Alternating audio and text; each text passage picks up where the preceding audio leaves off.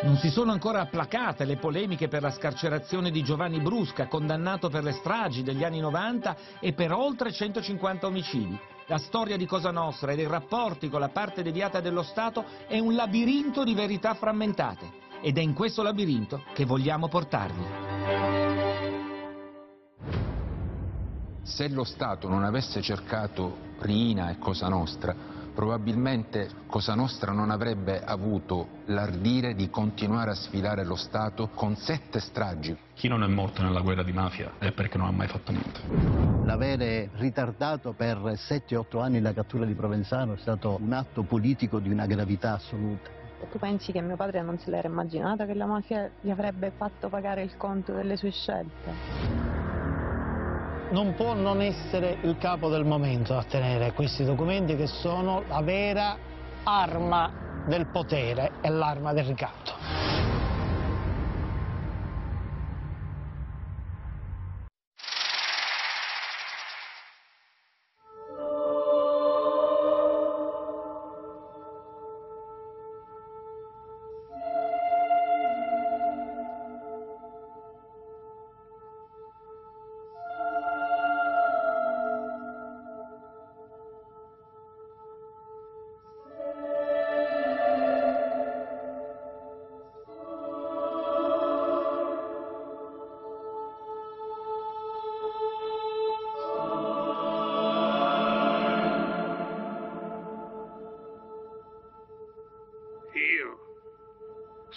Stato cercato dallo Stato. Al governo dovevo vendere i morti. Questo è il Cretto di Alberto Burri, un'opera di straordinaria bellezza e di grande intensità emotiva, creato proprio qui nel luogo dove sorgeva la vecchia città di Gibellina all'inizio degli anni Ottanta. Questa zona fu interamente distrutta dal terremoto.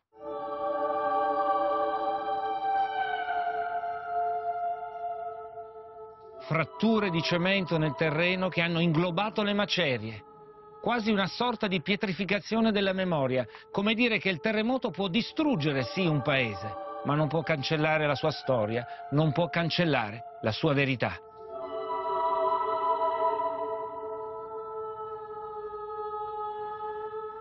La verità di cui cercheremo di ritrovare il filo in questo labirinto dei detto e non detto, dei non ricordo, e la verità della trattativa tra una parte deviata dello Stato e la mafia. Sono passati quasi 30 anni, ci sono stati processi, ci sono verità cristallizzate in sentenze, ma ancora sono troppe le domande a cui nessuno ha dato ancora una risposta.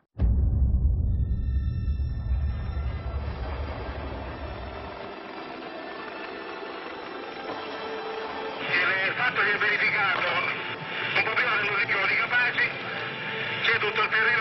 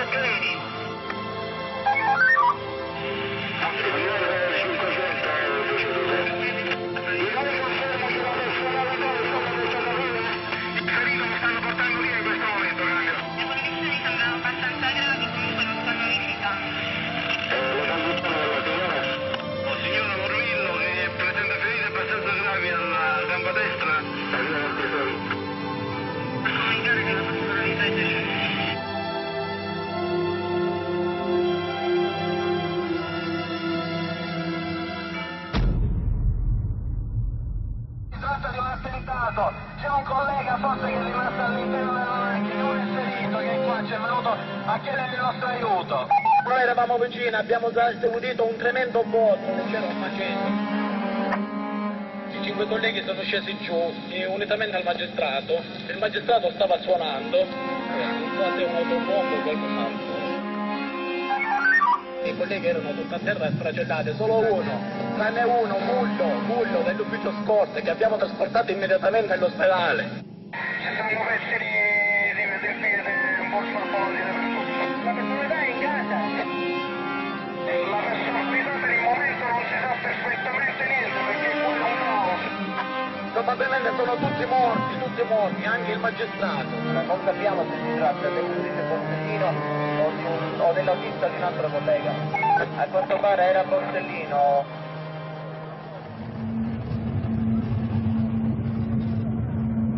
colonnello deve sempre decidere lui adesso andare a da lui può fare ma che mi dice ma che ah pigliate di più non le no comunque abbattiamoli e sempre la cosa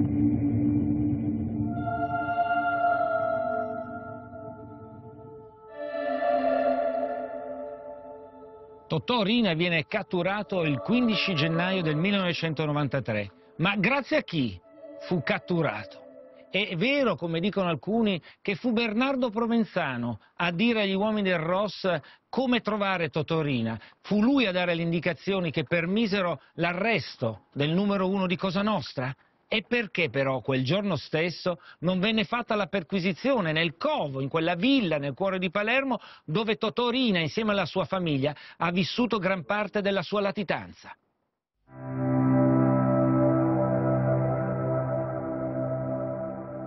Quel patto scellerato tra una parte dello Stato e Cosa Nostra continua ancora oggi con Matteo Messina Dennaro, condannato per le stragi di Capaci, di Via D'Amelio per le bombe del 93 e oggi diventato un fantasma, invisibile.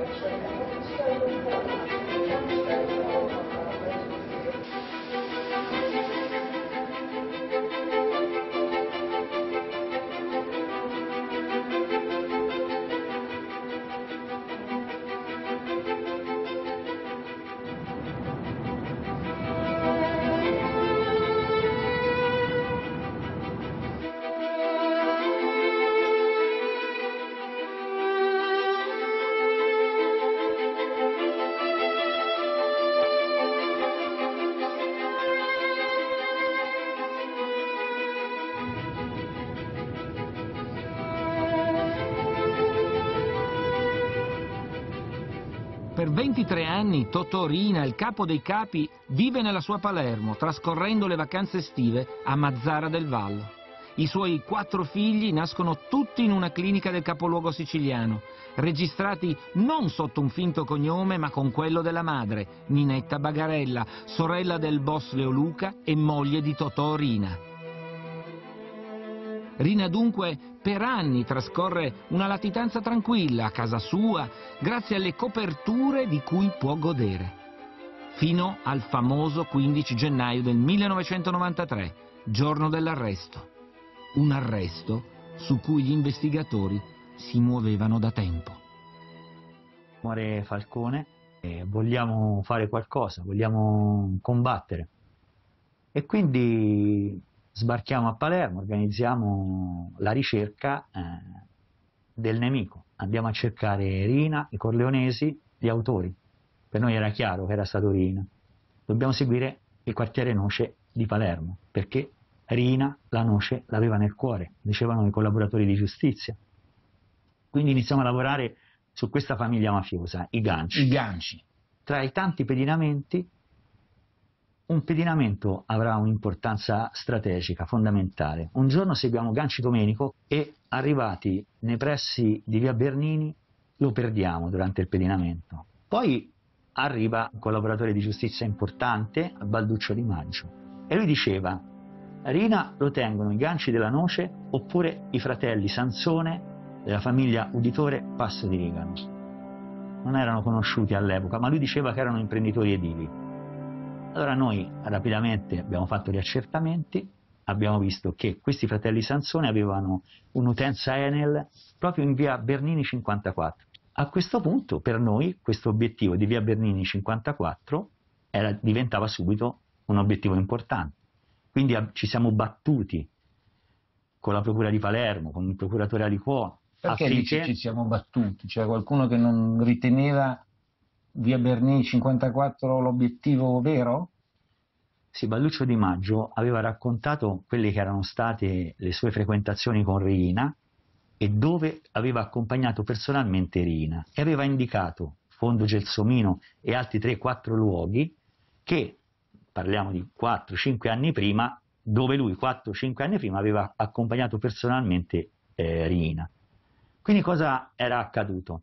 Il procuratore Aliquò, che dirigeva la procura prima che poi giungesse eh, Caselli, Caselli ave, insieme ad altri alla, all'arma territoriale, avevano deciso di preparare un blitz su tutti i luoghi dove Di Maggio aveva accompagnato Rina, ritenendo che in uno di questi, e in particolar modo Fondo Gelsomino, sicuramente mh, avremmo potuto trovare Rina in persona.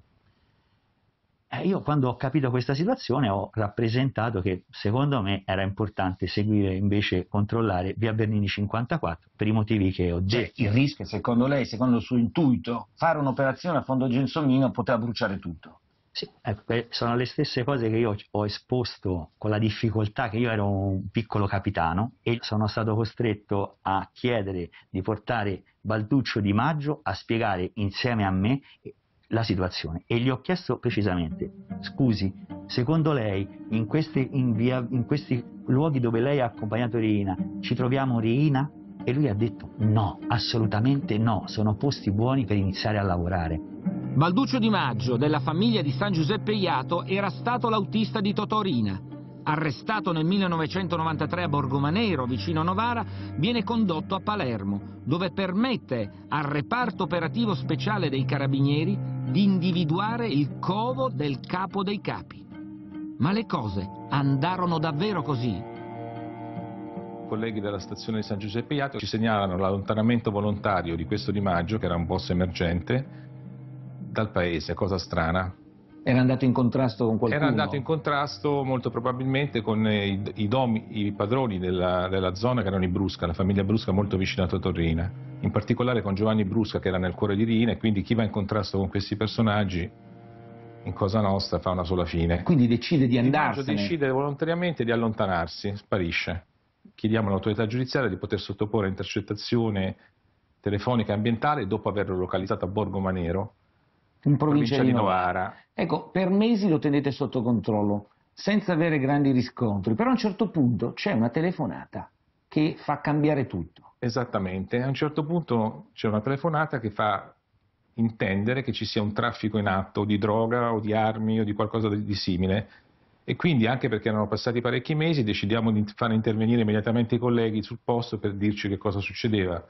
I colleghi vanno e effettivamente trovano un'arma, un giubbotto antiproiettile, dei proiettili, forse anche un po' di droga e quindi ci avvisano immediatamente, sempre in accordo con la Procura di Palermo, partiamo io con il mio personale per andare a proseguire l'indagine.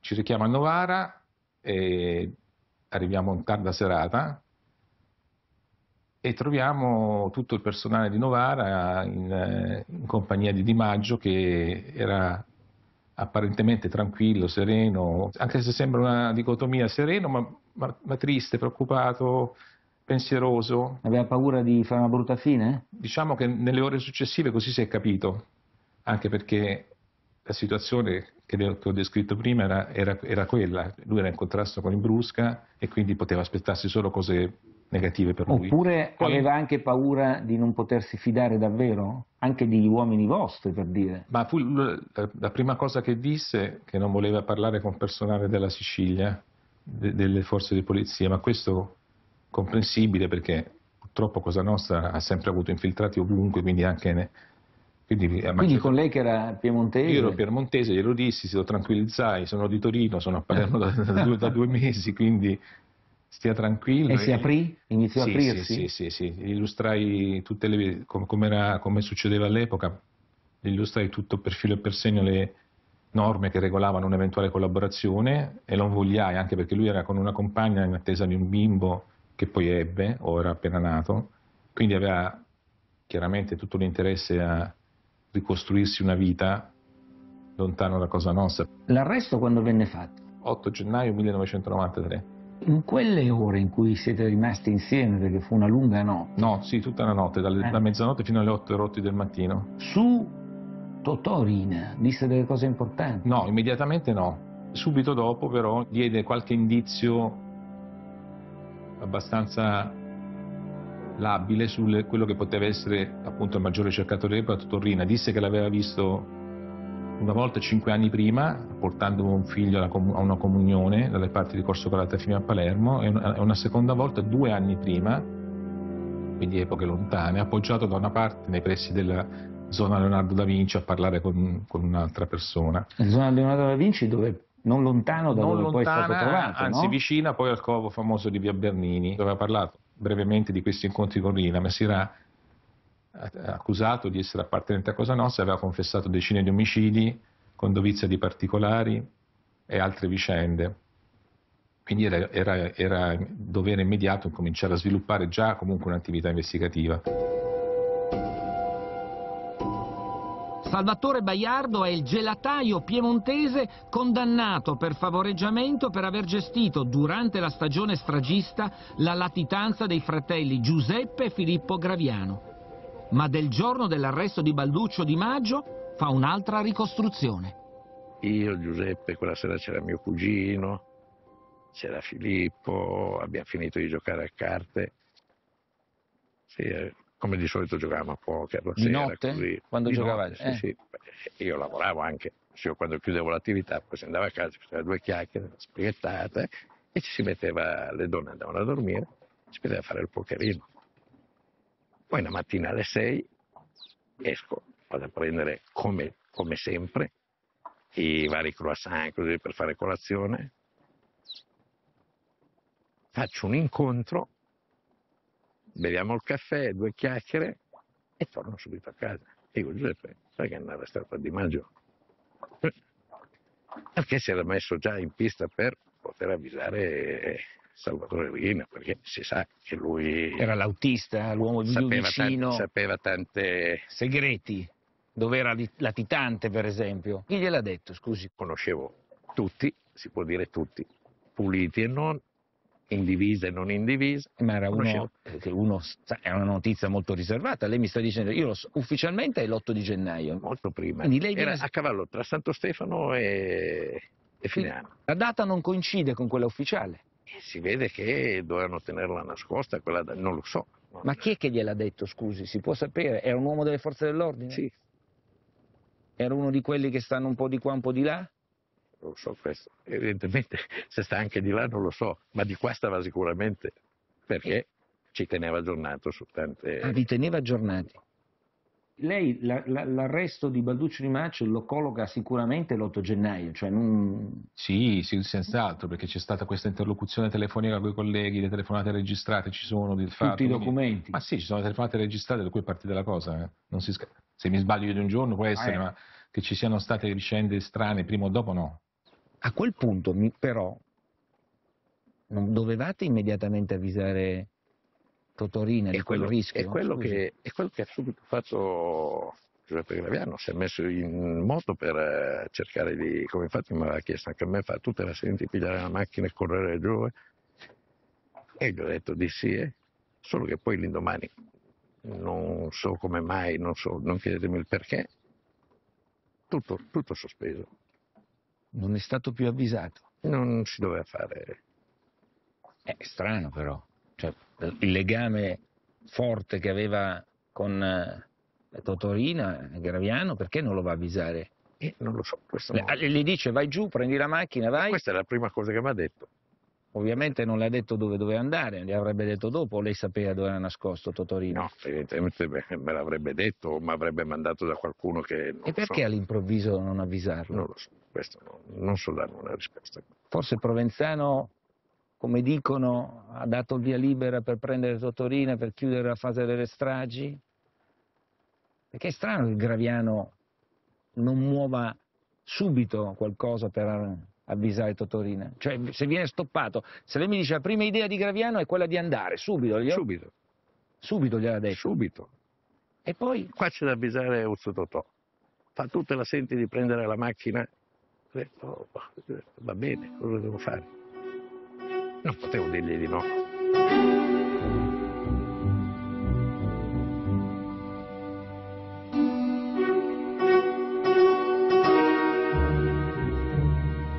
Una Eh? mattina vedono uscire eh, una- un'autovettura eh, e Di Maggio riconosce a bordo dell'autovettura, guidata da, quella- da una persona che lui chiama Biondolillo, ma in effetti è un certo Biondino, poi verrà arrestato ovviamente, e Totorina lo riconobbe. A quel punto l'operazione di cattura venne effettuata a distanza di circa un chilometro da via Bernini a Piazzale Kennedy, vicino al motellaggi di Piazzale Kennedy, 800 metri in effetti. E lì scattò l'operazione che apparve come un'operazione del tutto casuale, nel senso un'operazione per cui i carabinieri nel traffico delle macchine fecero un'operazione brillantissima e velocissima.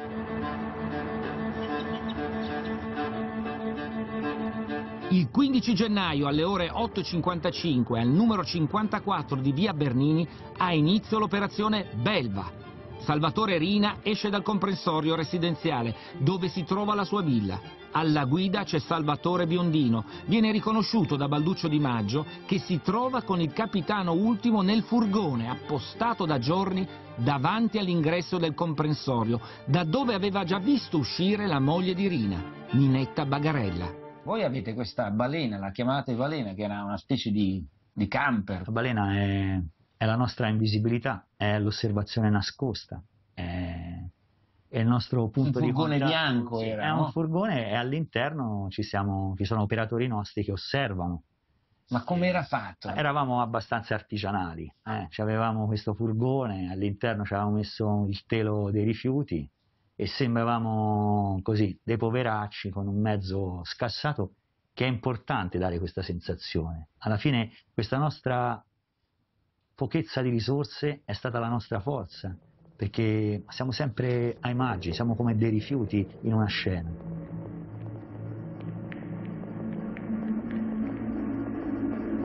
Noi siamo andati là e abbiamo fatto le riprese quel giorno, il giorno Avete precedente iniziato- all'arresto. Precedente iniziato all'arresto. il 14 di gennaio, 14 prima abbiamo- dell'arresto, il giorno prima ha iniziato a filmare. Sì, perché la, la procura aveva assegnato i compiti. Questo Di Maggio cos'è che ha detto di importantissimo? Il fatto che Rina lo seguivano i ganci della noce e i Sansone, uditore basso di Rigano, ma soprattutto che il vivandiere di Rina era Di Marco Vincenzo. Cioè la cosa più importante che ha detto Di Maggio è stata questa. Quindi a questo punto tutte le risorse della Procura della Repubblica e dell'arma territoriale, ovviamente, giustamente, erano state canalizzate sul vivandiere completamente sconosciuto di Rina. E quindi la- l'arma territoriale aveva avuto l'ordine dalla Procura di seguire questo personaggio, che Ma era non- di Marco Vincenzo. Ma non lo si trovava, pare. La mattina il collega del, del nucleo operativo Balsamo mi dice guarda il Di Marco um, è uscito la mattina di casa perché Di Maggio aveva indicato esattamente chi era la persona. Cioè non ha fatto niente, si è messo la coppola e sul trattore si è messo a coltivare il campo. Dico, beato lui, dico, si vede che ama la terra e la sera guardavamo i filmati. E io alle 10 mi ricordo la scena, guardo Oscar, guardo Vichingo, guardo Ombra, questi ragazzi distrutti, o, che lavoravano giorno e notte, attenti a tutti i fotogrammi del filmato. E mi viene in mente, dico, ma dov'è Di Maggio? Perché noi stiamo qua con la solita lattina di Coca-Cola, con il pezzo di pizza appoggiato su mobili di seconda mano? E dico, no, Di Maggio quello deve venire qua, ci aiuterà a vedere i filmati, perché lui deve stare tranquillo in un letto e noi qua come Morire. quattro disperati? E allora gli dico, no, ho chiamato la territoriale gli ho detto, scusate, portate Di Maggio che ci aiuta a vedere i filmati. Guarda i filmati, a un certo punto dice, questo è Di Marco, ehm, è di Marco Vincenzo, con, con- con una, con una Golf. E io dico, ma come? Stamattina il collega mi ha detto che era andato in campagna con la coppola e il trattore e invece esce da questa casa. Questa è, è Ninetta Pagarella, questa è Lucia Rina, questo è l'altro figlio di Rina.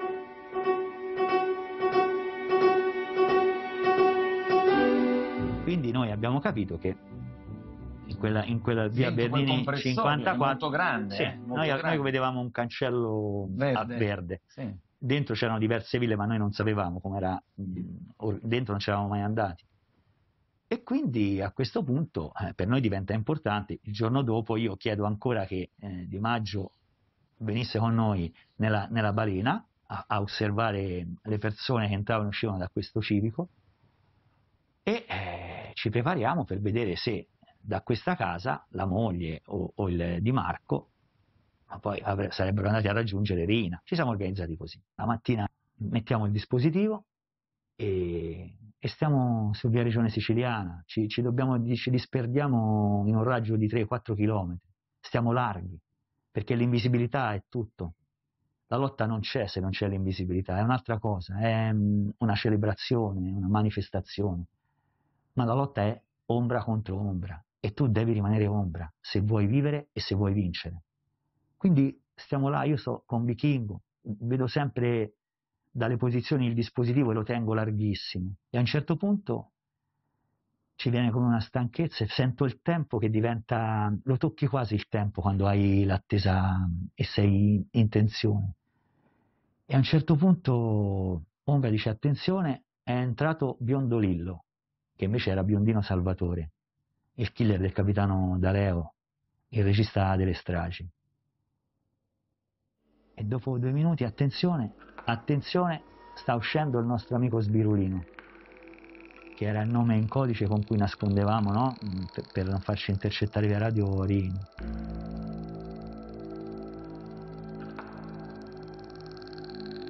Lo seguiamo, facciamo un percorso obbligato, il dispositivo unito, ci concentriamo, due macchine davanti, tre macchine dietro, siamo davanti al semaforo in via Regione Siciliana, al Monte Lacip, e a quel punto il semaforo è rosso, ok, lo prendiamo, scendiamo, io e Vichingo prendiamo Rina lato passeggeri, Arciere e Omar prendono Biondino lato guida, Freccia recupera la macchina, praticamente un sequestro,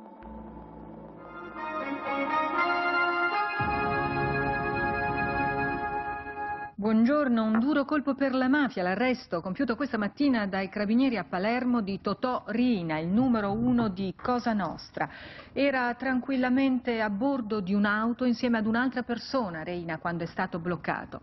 Latitante da oltre vent'anni, c'era sempre stato il sospetto che vivesse comunque a Palermo. L'infarto, cioè era l'uomo, era il capo della mafia, era l'uomo più ricercato d'Italia e non solo. Quegli attimi quando lei apre la portiera, ecco, mi racconta quegli istanti che sono istanti che rimarranno per sempre nella storia. sono attimi, sono la forza dei carabinieri, la forza di una battaglia, la forza di un dispositivo che è unito, due fanno un'azione, il tempo lo vedi come in un film, sei deciso, non- sei tranquillo perché sei con i tuoi uomini, Ma, sai che ma, hai vinto. Ma, Loro non si sono accorti di niente. Ecco. Hai vinto, sei forte. Hai la forza dentro di te, la, la reazione di Totorina quando Rina vede, le la parole forza, che sì, le ha chiesto. Vede la forza e lui vede la sua fragilità, vede la paura e ha paura e inizia a dire chi siete, chi siete, chi siete? E poi dice sto male, sto male, sto male. E non è bello, no? E vedi che è un perdente, uno sconfitto. Ma ha, sconfitto... detto, ma ha, detto, ha dichiarato chi era? O ha cercato di negare la sua identità? No, se quello aveva paura di morire. Allora, è brutto parlare di chi ha perso, vanno rispettati i perdenti. Quello aveva il terrore di morire e si è comportato come uno terrorizzato dalla morte.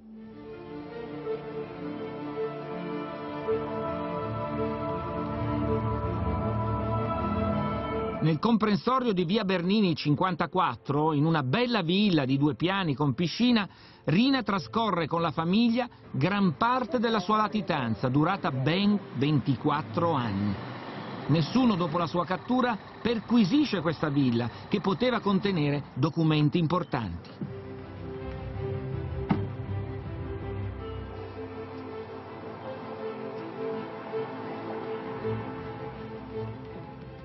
Perché non entrarono mai i carabinieri qui, in questo comprensorio, a fare la perquisizione del covo di Totorina? In realtà è rimasto veramente un mistero. Eh, in quello che i giudici poi nel processo, la sentenza che ci fu, dicono, soprattutto nella sentenza trattativa, dicono che fu l'unico caso nella storia giudiziaria del paese in cui viene arrestato un latitante di mafia e non si fa subito la perquisizione. E che latitante, eh? eh però vi avevano dato una spiegazione, lei, lei con Caselli lavorava sulla, su Totorina, su tutto quello che succedeva qui a Palermo. Perché si è arrivati a non perquisire? Nella caserma dei carabinieri, dove era stato portato già Rina arrestato, eh, c'era un gran eh, trambusto, gran movimento, grandi preparativi, si stava proprio creando una colonna di, di auto, poi le indagini e i processi l'hanno accertato, una colonna di macchine dei carabinieri pronti per, per venire qui in, in, forze perché non si sapeva esattamente quale villa fosse. C'era perfino il mio collega, il dottore Patronaggio, che era il sostituto di turno quel giorno, pronto a dirigere, c'era il generale all'epoca maggiore Balsamo che, che guidava la territoriale e, e poi venne il contrordine. La mia autovettura era già sotto la sbarra della caserma ferma con altre 4-5 autovetture dietro che doveva, insieme ai colleghi del gruppo di, territoriale di Palermo 1, andare a fare questa ricerca della quale fosse l'immobile dove stava Rina, perché dentro comunque non c'eravamo mai stati, quindi non sapevamo. E dopo tutta una serie di convenevoli, capannelli, perché si può immaginare tutti i magistrati, tutti i generali, tutti i giornalisti, c'era un, un, un Luna Park EU, c'era riusciamo a mantenere l'ordine, a prepararci, facciamo affluire il personale nel frattempo che serviva. E mentre stavamo uscendo eh, vengo fermato, mi chiamano, dice ci sono i suoi colleghi che devono parlarle, così torno indietro verso questi capannelli e si, si, si va avanti in una discussione fra, fra, fra, magistrati, ufficiali eccetera, ognuno faceva delle proposte, capisco che, perché lo sento poi, che, Sergio De Caprio, anche i suoi colleghi del ROS, anche, penso anche il colonnello Modi sicuramente, stavano dicendo che era, era una cosa buona rinviare la perquisizione per mantenere l'osservazione su via Bernini e vedere se perso altri personaggi mafiosi o altra, altri latitanti, altri familiari si fossero recati una volta saputo dell'arresto. Se noi stiamo a distanza ma la teniamo costantemente sotto osservazione, vedrete che ne pigliamo qualche altro di latitante. Verrà magari Leoluca Bagarella, il cognato Irrina a prelevare, a prelevare la, la, moglie Bagarella di Totorrina, i figli e prendiamo pure Bagarella. Un gran colpo, una cosa diciamo sulla carta geniale anche. Teniamo sotto osservazione, stiamo lì coperti. Eh, Cosa Nostra non sa che è stato scoperto perché? Perché Rina era stato arrestato distante da qui, era stato arrestato in mezzo al traffico a qualche centinaio, 500 metri circa da Venne da fatta qui. anche una finta operazione, no? perché nei giorni successivi per sviare l'ipotesi di individuare il Covo di Ria, poco sì. non, non lontano, vicino a Palermo, no? insomma. Esatto. Fondo Gelsomino si chiamava. Sì. E, e tutti i TG della sera, qualche giorno dopo, fanno vedere questa grande scena, esatto, elicotteri, i bulldozer che sfondavano i, i cancelli, per, trovata la, la villa di Rina, grande blitz, grande perquisizione, eccetera, ma era tutta una finta. Anche questo era stato un diversivo che era stato suggerito dai carabinieri per dire diamo la conferma a Cosa Nostra che noi non, stiamo sappiamo. brancolando nel buio. Per i carabinieri della Legione di Palermo l'ultima base di Salvatore Rina si troverebbe in un vasto appezzamento di terreno. In questo podere, secondo i militari, Rina avrebbe trascorso l'ultima parte della latitanza. Ma che senso aveva farlo? Se mancava il presupposto di questa simulazione, perché quella fu un'operazione simulata, che costò tanto ai contribuenti. Però fu, perché- simu- fu simulata per chi? Per la- Ma valeva questa simulazione qualora il luogo di effettiva residenza della, di Reina e della sua famiglia fosse tenuto sotto controllo, sotto osservazione. Ma se l'osservazione era già cessata dal 15, che senso ha simulare questa mega operazione mediatica per far credere a Cosa Nostra? Cosa Nostra per anni si interrogò, gli uomini di Cosa Nostra, i vertici, si interrogarono ma che significa? Non se lo riuscivano a spiegare.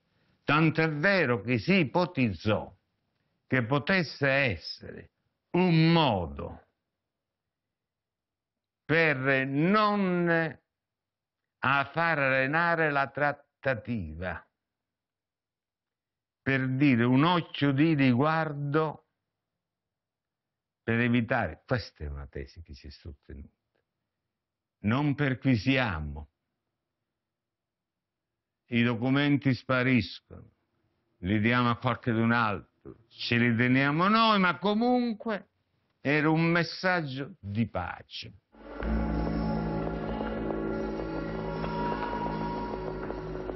Comprensorio era di proprietà non di un personaggio qualsiasi, era di proprietà di un signore che era molto noto nel mondo mafioso, Sansone. Sì. E probabilmente fu proprio la chiave per l'individuazione di Totorrina qui. Una chiave che secondo le acquisizioni più plausibili eh, non fu né di Mori né del capitano Ultimo, ma del maresciallo Lombardo.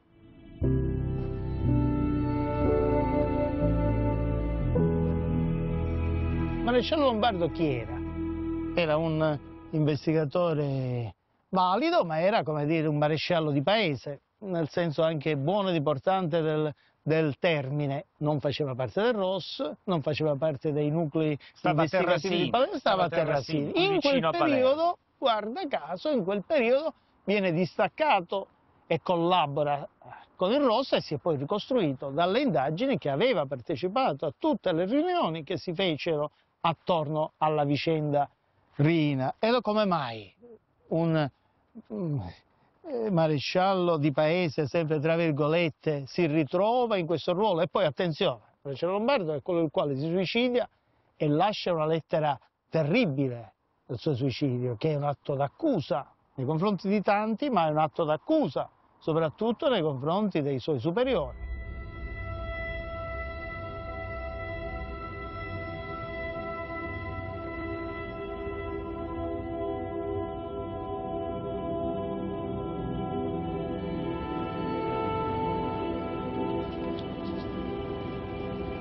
Fabio, Ciao Massimo. eccoci.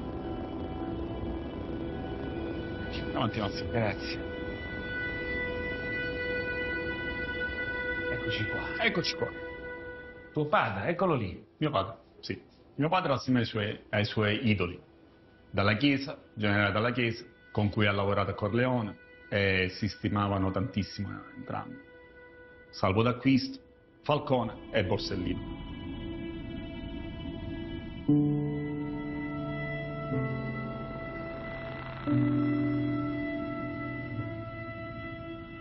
Idea si è fatta? che il maresciallo Lombardo venne usato e gettato via, perché il maresciallo Lombardo aveva portato all'arresto di Rina. È lui che portò qui il, il Ross. È lui che fu decisivo e non venne, e venne misconosciuto questo suo ruolo, gli diedero soltanto questo piccolo contentino di comparire su tutte le televisioni del mondo, peraltro inquadrato di spalle, quindi lo potevano riconoscere solo i pochi che lo conoscevano bene.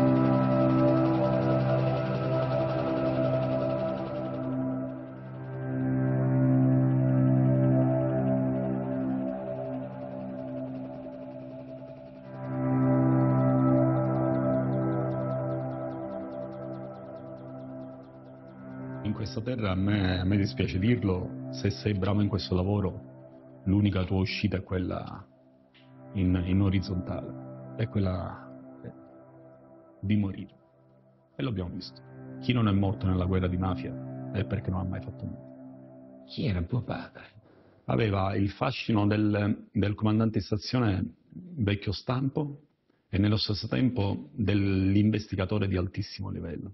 Era uno che riusciva a entrare in confidenza con i numeri uno Ma sì, della sì, macchina. lui, no? aveva, lui aveva confidenti di qualsiasi grado all'interno della mafia, dal capo di Cosa Nostra all'ultimo, all'ultimo grado, al soldato di Cosa Nostra. Borsellino diceva che per capire qualcosa di mafia bisogna parlare col maresciallo Lombardo, con tuo padre. Sempre. Qualsiasi notizia aveva bisogno Borsellino, veniva sempre dal maresciallo. E mio padre promise alla, alla vedova Borsellina, promise l'arresto di, Totorrina per vendicare la morte del marito. Ecco, ma che ruolo ha avuto tuo padre? Allora, mio padre ha avuto, penso, il ruolo principale, perché senza le informazioni di mio padre, sia ultimo della sua squadra e chiunque altro faceva finta di, di, di cercarlo, non l'avrebbero mai trovato. A proposito della cattura eh, di Totò Rina, c'è un documento che tuo padre aveva scritto eh, proprio a luglio del 92, quindi quasi sei mesi prima no, di quel 29, famoso... 29 luglio 1992. Ecco, cosa diceva in quel documento? Lui diceva che per arrivare a Totorrina bisognava seguire i fratelli Sansone e Raffaele Ganci. Fonte confidenziale di comprovata attendibilità ha riferito che in atto la latitanza del noto mafioso Rina Salvatore viene favorita dalle famiglie mafiose della noce Ganci Spina e dai fratelli Sansone dell'uditore. La stessa fonte ha riferito che uno dei figli di Raffaele Ganci svolge le mansioni di autista guardaspalle del capomafia. Quindi lui, molti mesi prima della cattura di Totorrina, già sapeva dove andarla a prendere. Il figlio conserva un documento eh, con su scritto a luglio 92 una serie di cose, tipo un confidente importante dice che Totorina è gestito dai fratelli Ganci, fa il nome di quell'uomo vicino, eh, che era l'uomo guardaspalle, l'autista, parla di Sansone. Ecco, ma non vi eravate mai scambiati qualcosa, visto che voi comunque con la territoriale avevate dei rapporti, eccetera? Eh, né mai, hai mai saputo niente di questo scritto? No, assolutamente no. Lui diceva, anche lui aveva avuto indicazioni che i ganci avevano contatti con Rina, questo lo diceva, voglio dire, lo dicevano insomma. Però ecco, informazioni precise, per esempio, che macchina usava questi ganci, lui non era in grado di dirlo. Quindi erano, diciamo, notizie concettuali. No, però quel nome, erano notizie, però, diciamo, concettuali. Questo nome però il nome è in questo, incredibile. Questo incredibile. nome è in questa relazione che il figlio ci fa vedere, è lì. Ed è il nome che lei ha citato prima, eh, che la territoriale non trovava però. Ah, non trovava. Eh, Balduccio Di Maggio ha indicato, ha detto anche nome e cognome, non so io in che termini erano le indicazioni di Lombardo, ma quella di Balduccio Di Maggio era chiarissima. Tanto è vero che noi avevamo anche la foto di questo personaggio perché aveva dato proprio, era stato identificato, non è che era una, una era, infatti era la pista principale attraverso la quale la Procura della Repubblica e l'Arma Territoriale che gestivano Di Maggio giustamente avevano puntato tutto su questa pista. Quindi per loro hanno dato anche poca importanza a, alla mia richiesta di poter osservare via Bernini, perché avevano già in mano, avevano già in mano Rina, insomma. Infatti, nella casa dove stava eh, questo Di Marco, che è, è arrivato Di Marco, quindi quello da casa è arrivato effettivamente lì, non è andato in campagna. Eh, E però lei se l'è trovato lì, se l'è trovato lì all'improvviso, però scusi. Vabbè, però insomma voglio dire, alla fine, È curioso. alla fine mm, Se era sotto osservazione degli altri, è curioso. Rina Salvatore è stato catturato dai carabinieri questa mattina a Palermo. Scoprì tutto durante il TG e gli dissi mamma ma papà e mia madre disse "Pa- papà è andata a, a portare Totorina a- per lui è fatta. Quando tornò mio padre logicamente mh, gli feci i complimenti. Lui in quel momento era veramente felice soddisfatto. Soddisfatto e mi disse soltanto la frase ce l'abbiamo fatta non disse ce l'ho fatta ma ce l'abbiamo fatta la delusione, la delusione arrivò dopo. Arrivò dopo perché gli venne, gli venne riconosciuto soltanto un encomio semplice. E per, eh, per ciò che fece lui per l'arresto di Torrina era poco, a tal punto che lui si vergognava pure a mostrarlo. Lui lo ha sempre tenuto nel, nel cassetto e non, non lo- non voleva neanche mostrarlo. Col senno di poi posso dire, ma cos'è valso tutto questo? si cattura di Torrina, si vendica Paolo Borsellino, vai in America, prendi i badalamenti, lo porti qua, cambi la storia ita- d'Italia. Ma io avrei preferito più avere mio padre accanto, sinceramente. hai citato Badalamenti. Badalamenti, sì. Ecco, Badalamenti ha un rapporto molto forte con tuo padre. Sì, con Badalamenti il rapporto inizia... Badalamenti è uno dei più grandi nomi della mafia. Badalamenti è stato il capo di Cosa Nostra, il capo della cupola. Badalamenti era negli Stati Uniti. Era, sì, era detenuto negli Stati Uniti. E essendo per Pizza Connection. Un uomo così importante, capo della cupola, eccetera, portarlo in Italia poteva voler dire cercare di entrare in altri segreti. Magari fin troppo. Ecco, però Badalamenti diceva, io torno in Italia se viene a prendermi... No, solo se, solo se mi viene a prendere il maresciallo Lombardo. Non se mi viene, solo.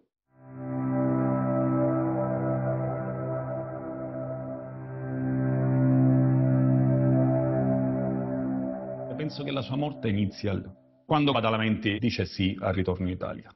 Penso che lì sia stata decisa la morte del maresciallo Lombardo. Perché Badalamenti in Italia non doveva arrivare. È l'unico motivo. Come si poteva fermare Badalamenti? L'unico modo per fermare Badalamenti era fermare il maresciallo Lombardo. Avevano già i biglietti, avevano già tutto, però, Era- Era già stato deciso tutto, tutto. però i superiori a un certo punto chiamano Quando mio padre viene a sapere dell'annullamento, penso che ha capito veramente di essere un uomo morto che camminava.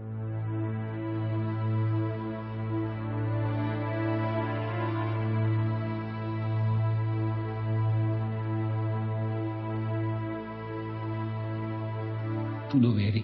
Ero fuori con degli amici e sono tornato a casa intorno alle due e mezza. Chi ti ha avvisato? Non mi ha avvisato nessuno. Arrivai e vidi la strada piena di auto. Sono sceso dalla macchina, lasciai la macchina accesa, cominciai a correre e quando vidi tutte le persone qua davanti ho capito che era finita. In quel momento, devo essere sincero, non mi è uscita neanche una lacrima. Ero incazzato. Ero incazzato.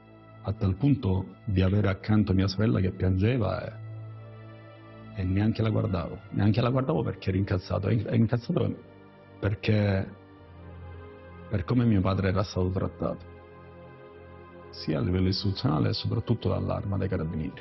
L'arma dei carabinieri, così dispiaciuta della morte del maresciallo Lombardo, che adesso penso proprio che sia stato trattato peggio di un cane a randagio, viene a dare la notizia alla famiglia. L'allora comandante della compagnia di Carini, il capitano Mugivera, prende mia sorella per le braccia, la strattona for- in modo violento e gli grida in faccia dove sono i documenti di tuo padre? Dove sono i documenti di tuo padre? Mia sorella logicamente continuò a piangere, era disperata. Dice ma di che cosa sta parlando? Ma cosa vuole? Stiamo parlando comunque di una ragazza di 16 anni. E mia sorella gli dice, guarda, eh, vedi eh, da, nel, nel, salotto, eh, non so, ma di che cosa sta parlando? Prende mia sorella per il braccio, la strattona, la porta verso il salotto e vedono che già ci sono dei carabinieri che controllano i cassetti. Quindi loro non vengono a dare la notizia a mia madre, ma loro vengono a fare perqu una perquisizione, mai verbalizzata. Con questo, cosa voglio dire? L'arma cosa cercava?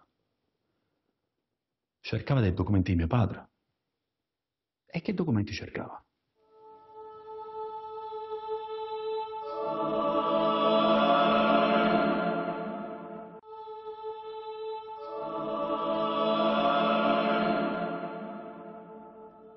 Sono riuscito a vedere mio padre soltanto nelle foto. Ecco, questa è molto, molto dura. Eh, questa è una foto durissima. Tuo padre Questa è una si è ufficialmente suicidato con un colpo di pistola alla Così, tempia. così dicono. E questa è una fotografia che però indubbiamente lascia molti dubbi, no? Io sfido chiunque, chiunque, qualsiasi peri- perito balistico, a dirmi che questo è un suicidio. Chiunque. Io sfido chiunque. Qualcuno la mano è lì appoggiata. A me, a me sembra, sembra, più, sembra più una scena hollywoodiana, Massimo. Perché è impossibile che dopo che ti suicidi, dopo che ti spari alla tempia, vai a finire in questa posizione. Impossibile. Impossibile. E poi è strano. È strano. Guarda qua. C'è una pistola, no? Il colpo sarà stato forte. Il boato sarà stato fortissimo. Ma stranamente non esiste un carabiniere che abbia sentito il colpo di pistola. Nessuno. Tranne il capitano De Caprio, conosciuto come ultimo. C'erano dei carabinieri del battaglione, del dodicesimo battaglione carabinieri Sicilia, che cioè, c'è un luogo dove si caricano e si scaricano le armi. Io ero lì mentre loro scaricavano le armi e mentre scaricavano le armi ho sentito, sentito un colpo e io ho immediatamente pensato che era partito un colpo durante le operazioni di scaricamento delle armi. E gli ho detto dite una preghiera stasera. Perché dico è andata bene. Invece un attimo dopo è arrivato il maresciallo Thor e mi ha detto guardi c'è uno che sta male nella macchina. Siamo andati a vedere e c'era Lombardo che era eh, morto praticamente. Abbiamo chiamato l'ufficiale di guardia c'era il sottufficiale di ispezione e il sottufficiale di ispezione ha provveduto a avvisare tutti.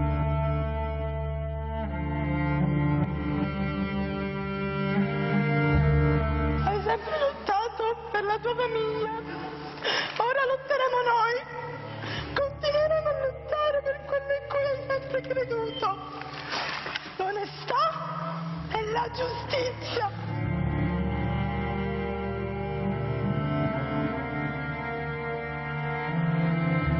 È stata fatta l'autopsia? Assolutamente no. Sai cosa mi hanno risposto quando noi abbiamo, abbiamo chiesto ai magistrati perché non è stata fatta l'autopsia?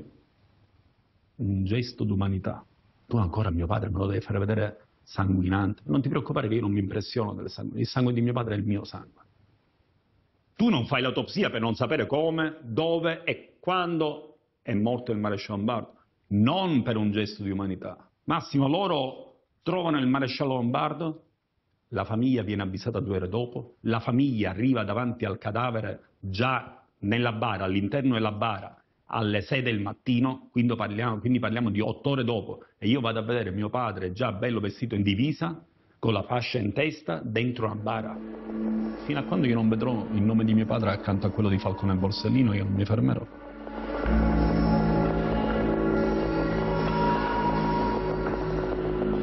all'interno di questa zona si sapeva che c'era una villetta dove c'era il covo di Rina.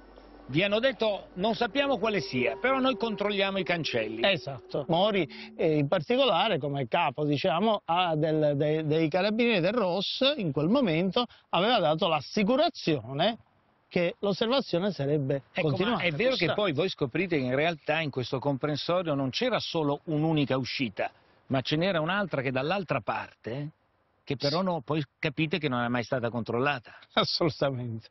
Purtroppo è quello che si scoprì dopo, perché il Ross rivendicò l'autonomia, la piena autonomia operativa e venne dato loro carta bianca. Come procura dite, stiamo sereni, il controllo c'è. Passano però i giorni e qualcosa a un certo punto, in modo incredibile, vi fa capire che in realtà questo controllo non c'è mai stato.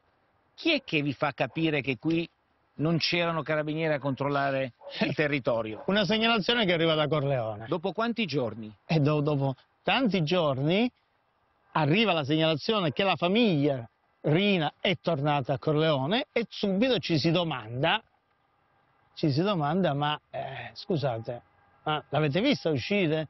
Gioacchino La Barbera si preoccupò di portare la famiglia, cioè Ninetta Bagarella e i figli, alla stazione centrale ferroviaria di Palermo, eh, dove presero un taxi e tornarono a Corleone. Senza che nessuno se ne accorgesse. No, nessuno. Proprio nessuno, fin quando non apparvero dopo alcuni giorni. Quindi fu ufficiale la loro comparsa, ma nessuno se ne era accorto.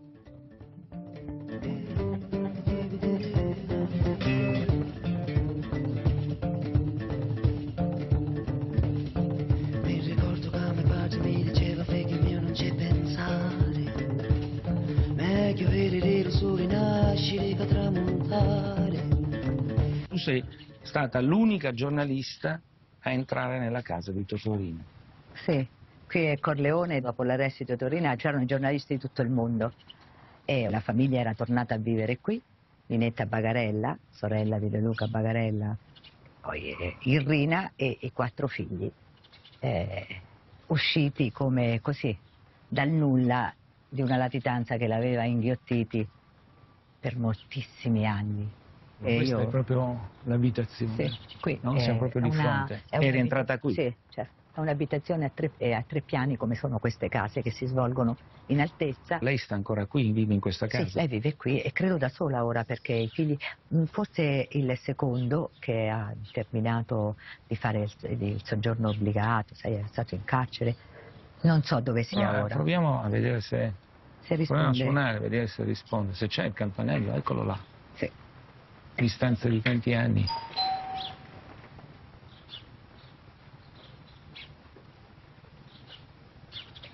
Forse non è in casa. Non c'è la signora? Non, eh, non l'ha vista, non, eh, in questi giorni non si è vista.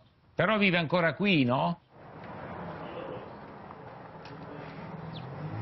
Che impressione hai avuto quando sei entrata? Che cosa ti hanno raccontato? Anche le figlie tu hai intervistato? Beh, volevo intervistarle ed ero molto attratta da- dal capire che cosa questi ragazzi, che erano piccoli, perché Lucia la più piccola aveva 10 anni, 11 anni, no?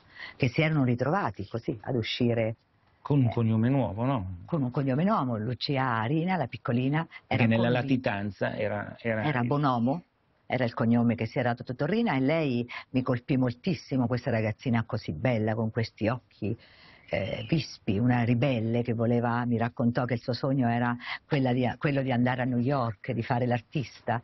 E mi raccontò, io andai, mi portò nella sua cameretta dove aveva scritto sul muro della cameretta Lucia Bonomo, Lucia Bonomo, Lucia Bonomo, per riappropriarsi di quel cognome, di quell'identità che le era stata strappata dal giorno dell'arresto, o meglio, dal giorno in cui lei seduta, mi raccontò sulle ginocchia del padre, vedevano le immagini della strage di Capaci scorrere sul televisore.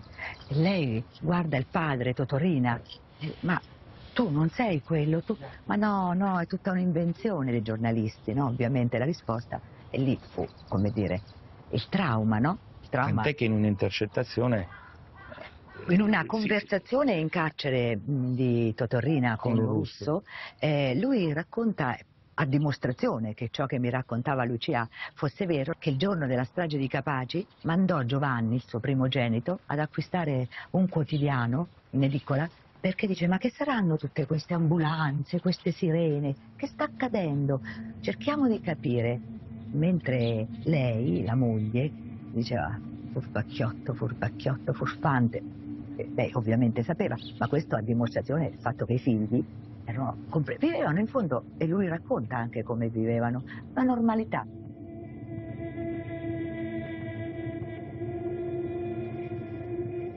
macchina gli ho detto Giovanni, ma che c'è con questo bordello che fanno le macchine che suonano? Vai a prendere il giornale, così sentiamo che cosa c'è. Mia moglie ascoltava, dice ma che felebussiere, sei un felebussiere. non mi dice niente, non mi... sì, lei si sta zitta, però ha visto. Felebussiere, vuole sapere che c'è, che c'è con sto bordello. E lui meschino, innocente, innocente. Sì, ragazzino, va a prendere il giornale, riporta il giornale, convinto pure che papà non sapeva niente. Ninetta Bagarella è stata la prima donna di Corleone a iscriversi all'Università Palermo in filosofia. E quando io entrai nella sua casa, sul comodino, aveva al di là del bene e del male, questa era la sua lettura, quindi una donna appassionata, una donna intelligente, eh, che eh, innamorata follemente di quest'uomo e, e lei lo racconta, lo racconta e fece questa, questa ringa, potrei definirla, quando venne eh, condannata al, al soggiorno obbligato, lei disse non potrete mai impedirmi di amare quest'uomo e quindi lo seguì nella latitanza.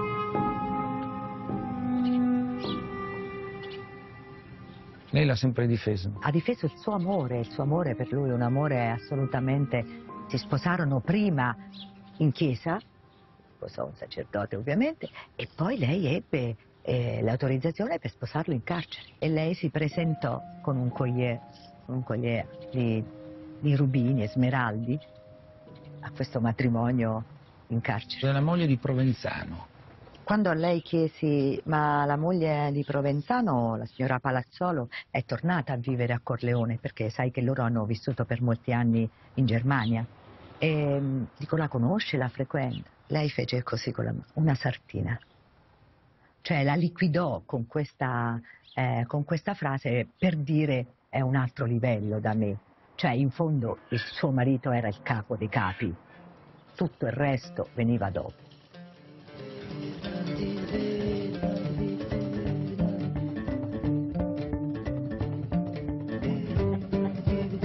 Di andarmene mi disse aspetti c'è un regalo per lei e si presentò la mamma di Bagarella, quindi sua, sua madre, eh, con un vassoio di cannoli caldi fatti appositamente per me. E io ricordo che tornai a Milano, allora vivevo, vivevo a Milano, e li misi nel congelatore, però non ebbi mai la forza di mangiarli, perché forse mangiando un cannolo mi sarebbero tornati in mente affetti che avevo perduto per causa loro. Lei ti disse una cosa eh, importante. Salutandomi, eh, così poggiando la sua mano sul mio gomito, così, mi disse lei con il tempo capirà che non siamo i peggiori. E, e io rimasi davvero così molto colpita da queste parole, dissi ma cosa intende? Con il tempo capirà.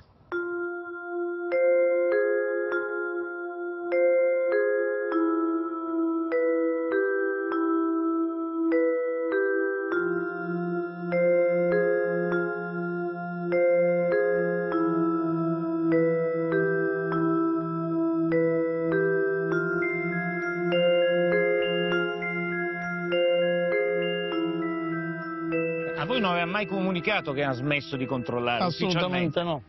E a quel punto si apre un confronto abbastanza duro tra Caselli, voi e- Sì. e Mori? Lo indagate? Assolutamente succede? no, succede che viene fatta una, una lettera di dura contestazione da parte di Caselli indirizzata a Mori. Mori risponde che rientrava nell'autonomia operativa e decisionale dei carabinieri di smettere il servizio, che secondo loro il servizio esponeva a rischi e stress perché si è scoperto, mentre inizialmente si era capito che c'erano dei servizi fissi, telecamere sui pali, eccetera, invece in realtà si è scoperto che l'unica telecamera era dentro una cosiddetta balena, cioè una- un'auto civetta, diciamo così, dei carabinieri, quella dove stava Quella dentro... famosa ul- dove ultimo stava Esatto, l'ultimo stava con, con Di Maggio, venne riconosciuto e, e loro dicono, beh, insomma, non, posso- non possiamo tenere degli uomini allo scoperto a nottetempo che possono essere preda delle rappresaglie Però non ve lo mafiose." dicono. Ma non ce lo dico. Viene fatta una riunione intorno al 26 gennaio, credo, era un giorno del genere, e Caselli chiede notizie, allora c'era il colonnello Mori sicuramente, forse anche con qualche suo ufficiale. La risposta fu una risposta direi interlocutoria, nel senso che non la capì bene, non si capì bene. Sì, dovevamo farlo, però poi ragioni di sicurezza, il personale era stanco, le condizioni non lo permettevano. Benissimo, ma perché non, non, avete avvisato i colleghi con cui avete lavorato fino al giorno prima, i magistrati? Poi diranno addirittura al processo, ah, in fondo, che poteva mai tenere Totorrina dentro la sua villa.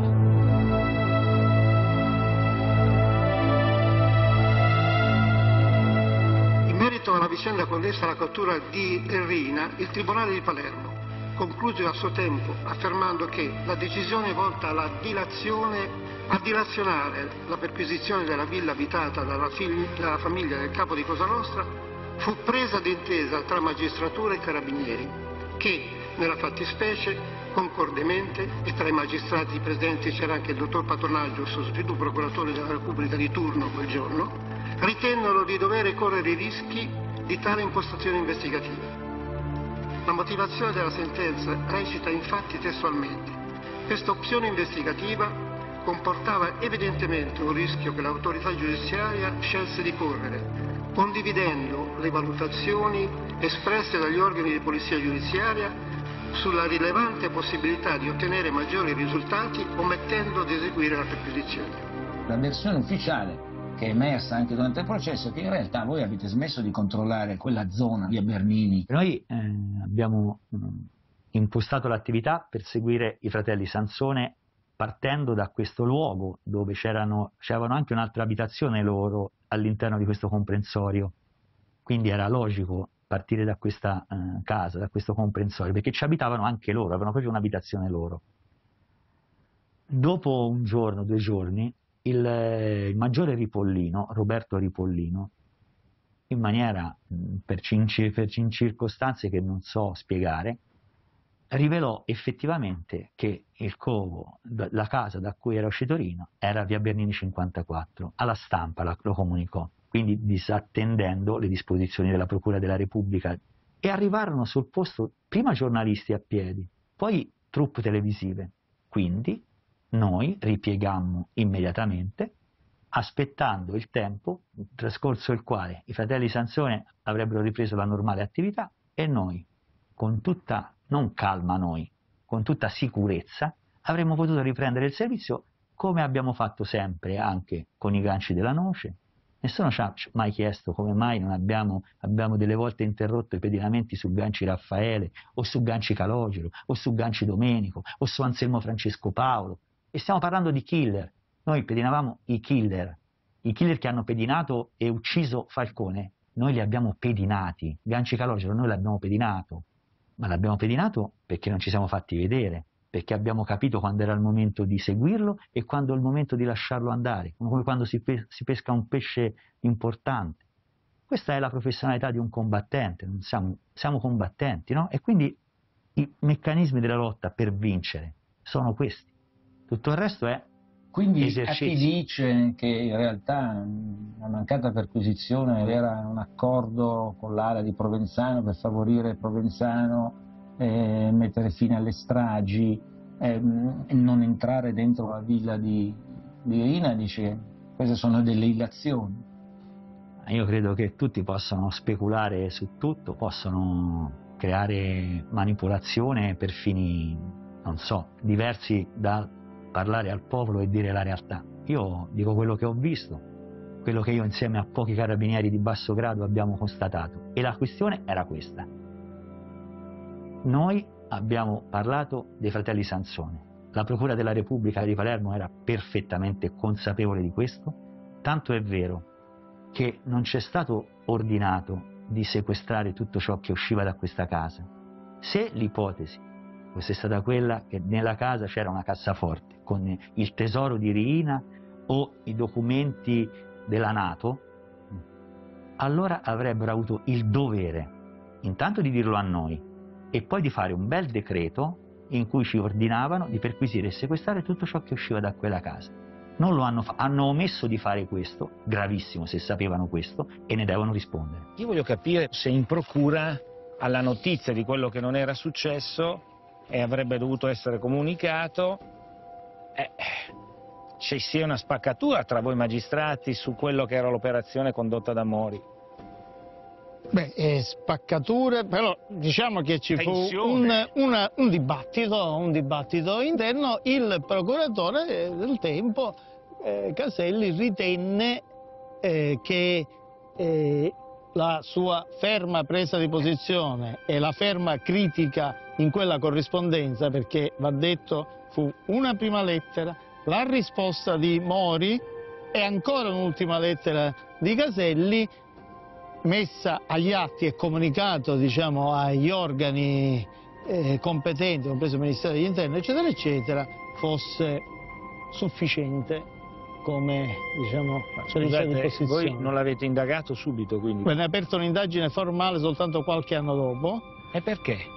Perché questa fu la decisione che venne presa dai vertici, dai vertici dell'ufficio, perché non si ritenne che quella condotta era una condotta tale da poterla definire di reato. Ieri era finito il film e io prima di spegnere ero girato il canale, a Rai 2 stavano intervistando il generale Mori. Il generale Mori, ha detto, noi la proposizione ma non l'avevamo fatta eh, perché ritenevamo che Rini, che era ricercato e che sapeva, eh, non potesse tenere a casa documenti o documenti a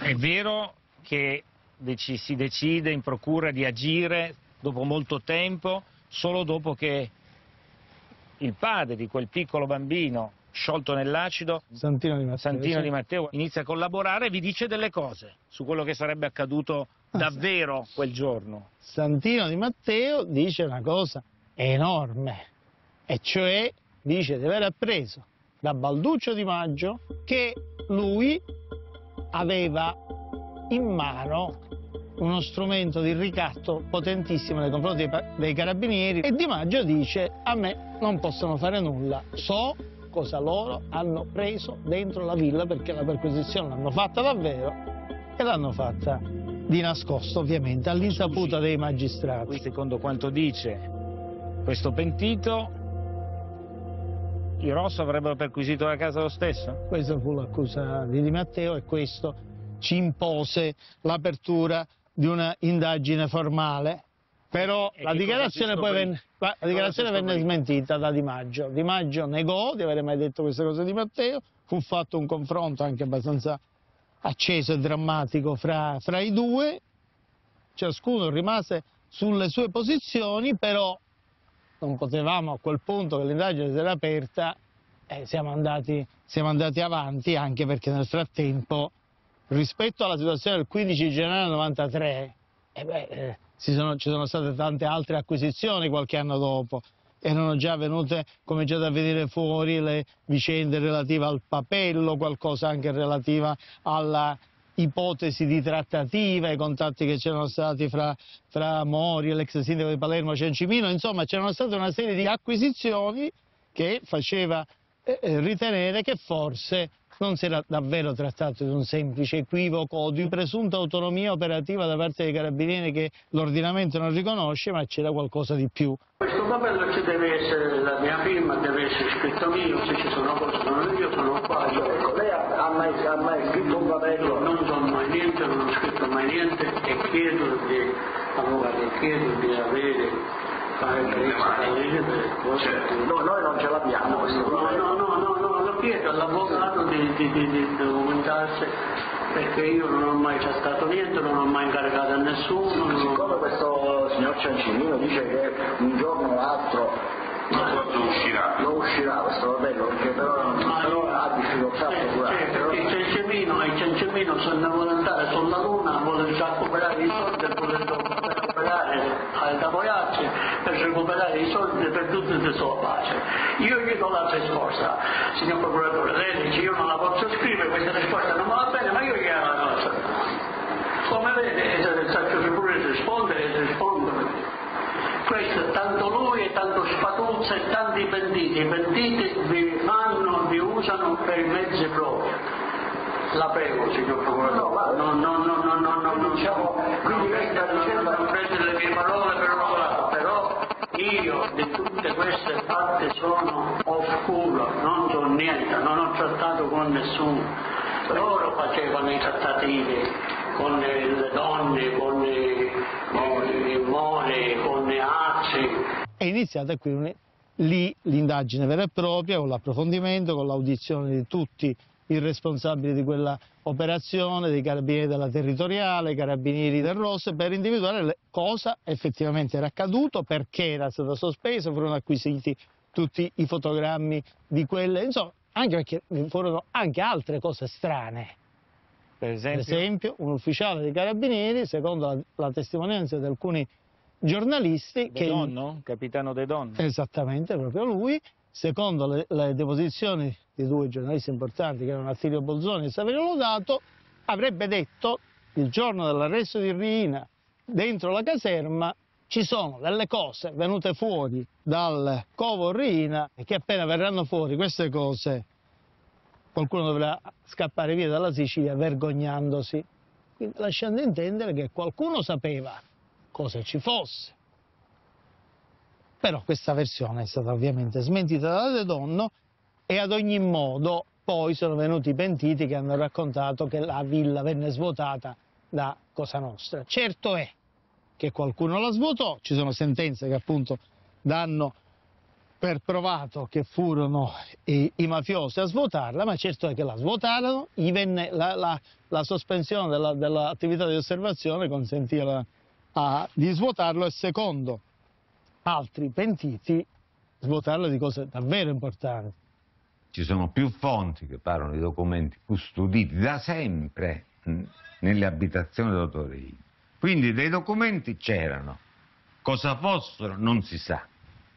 Però stiamo parlando del capo dei capi. È impossibile che non gli fosse stato trovato nulla che riguardasse la sua attività, i collegamenti, i contatti. Un appunto, un pizzino, chiamatelo come volete, ma non è pensabile che non ci fosse nulla. Ed io personalmente, personalmente, ma penso legittimamente, ritengo di dire che quell'appartamento qualcuno lo ha visitato e non solo per ripulirlo. E non sappiamo chi l'ha visitato per primo. Sappiamo che ufficialmente lo Stato c'è entrato dopo 18 giorni. Ecco, Eh, ma- ma... se una sta- parte dello Stato c'è entrato prima, eh, io lo ritengo legittimo.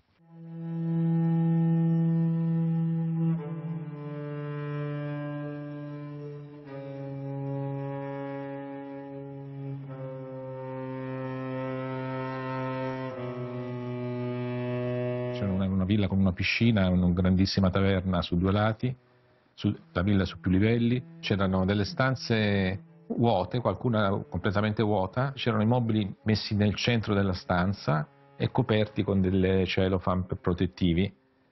E poi c'erano dei, in un bagno e in alcune stanze a livello tinteggiatura o presunto tale, c'erano dei, delle- delle- dei segni che ci potevano essere delle attività in corso di, chiamiamola ristrutturazione.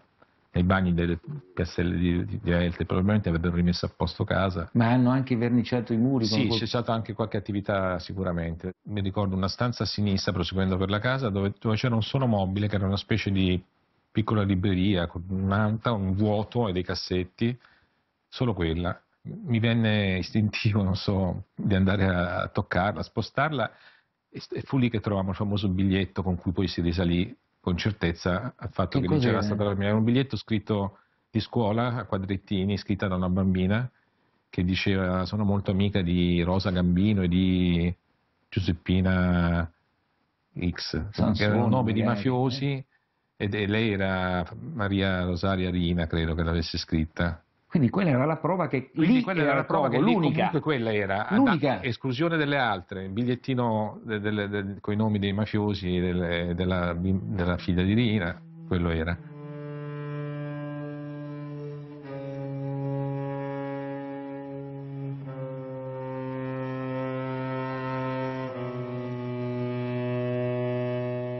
scala che scendeva al piano sottostante e sul lato della parete c'era tutta una serie di cassettoni di legno, di coperture di legno.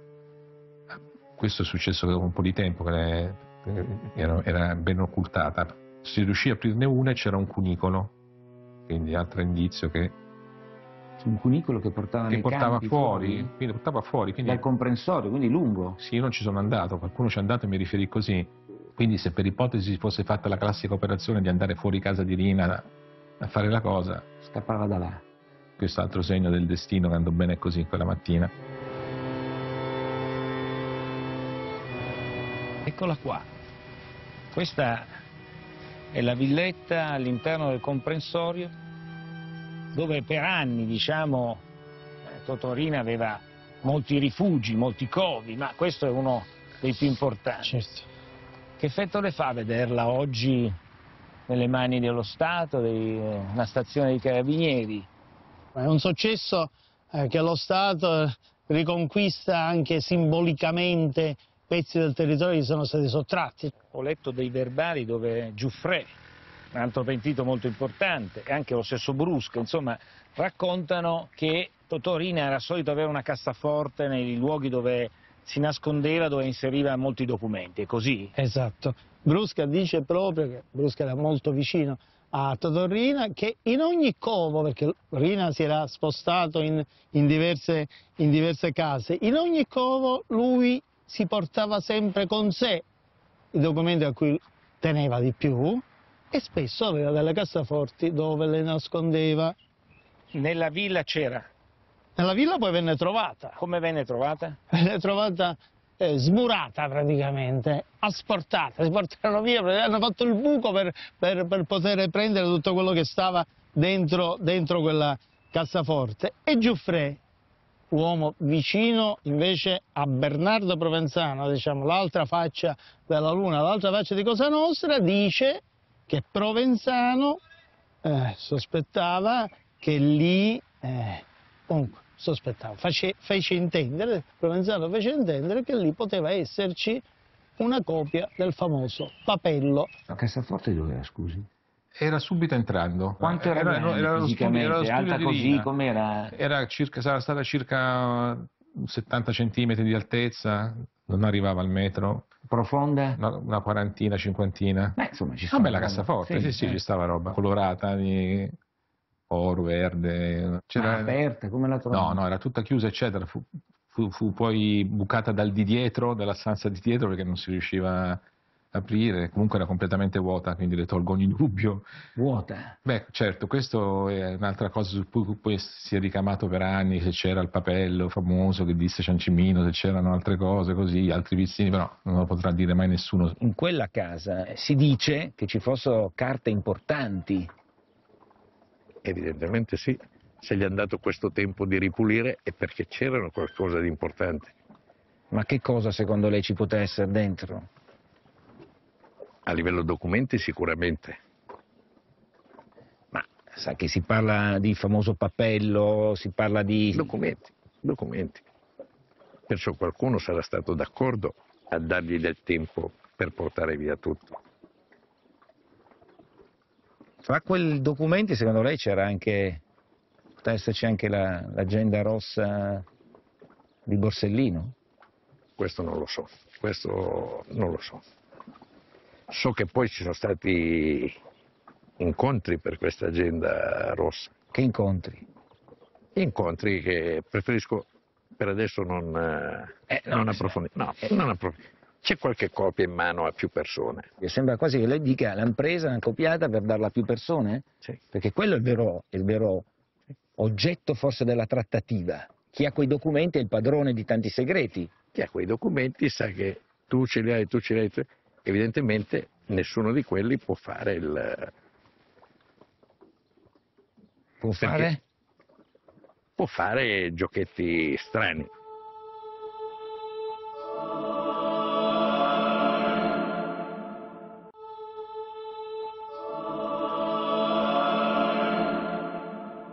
Baiardo, che è un uomo importante vicino a Graviano, uno dei super boss della mafia, dice che in realtà in quella cassaforte ci sarebbe stata anche la famosa agenda rossa. È credibile?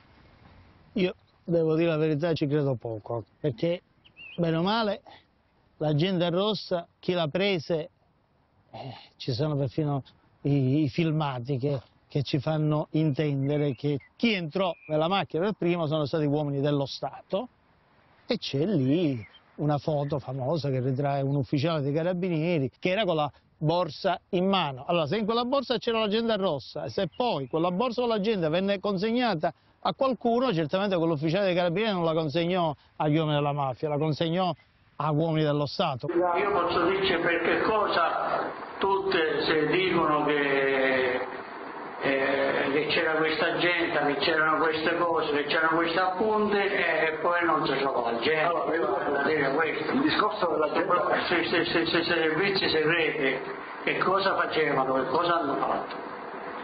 Signor Procuratore, è quello che noi stiamo cercando di capire. Io, per questo siamo qua. Io, se lei ci dare qualche... io se ci avessi avuto contatto con queste signore, lei ci ho avuto contatto, oppure queste signore che hanno avuto contatto. Ma non io non ho avuto contatto con nessuno.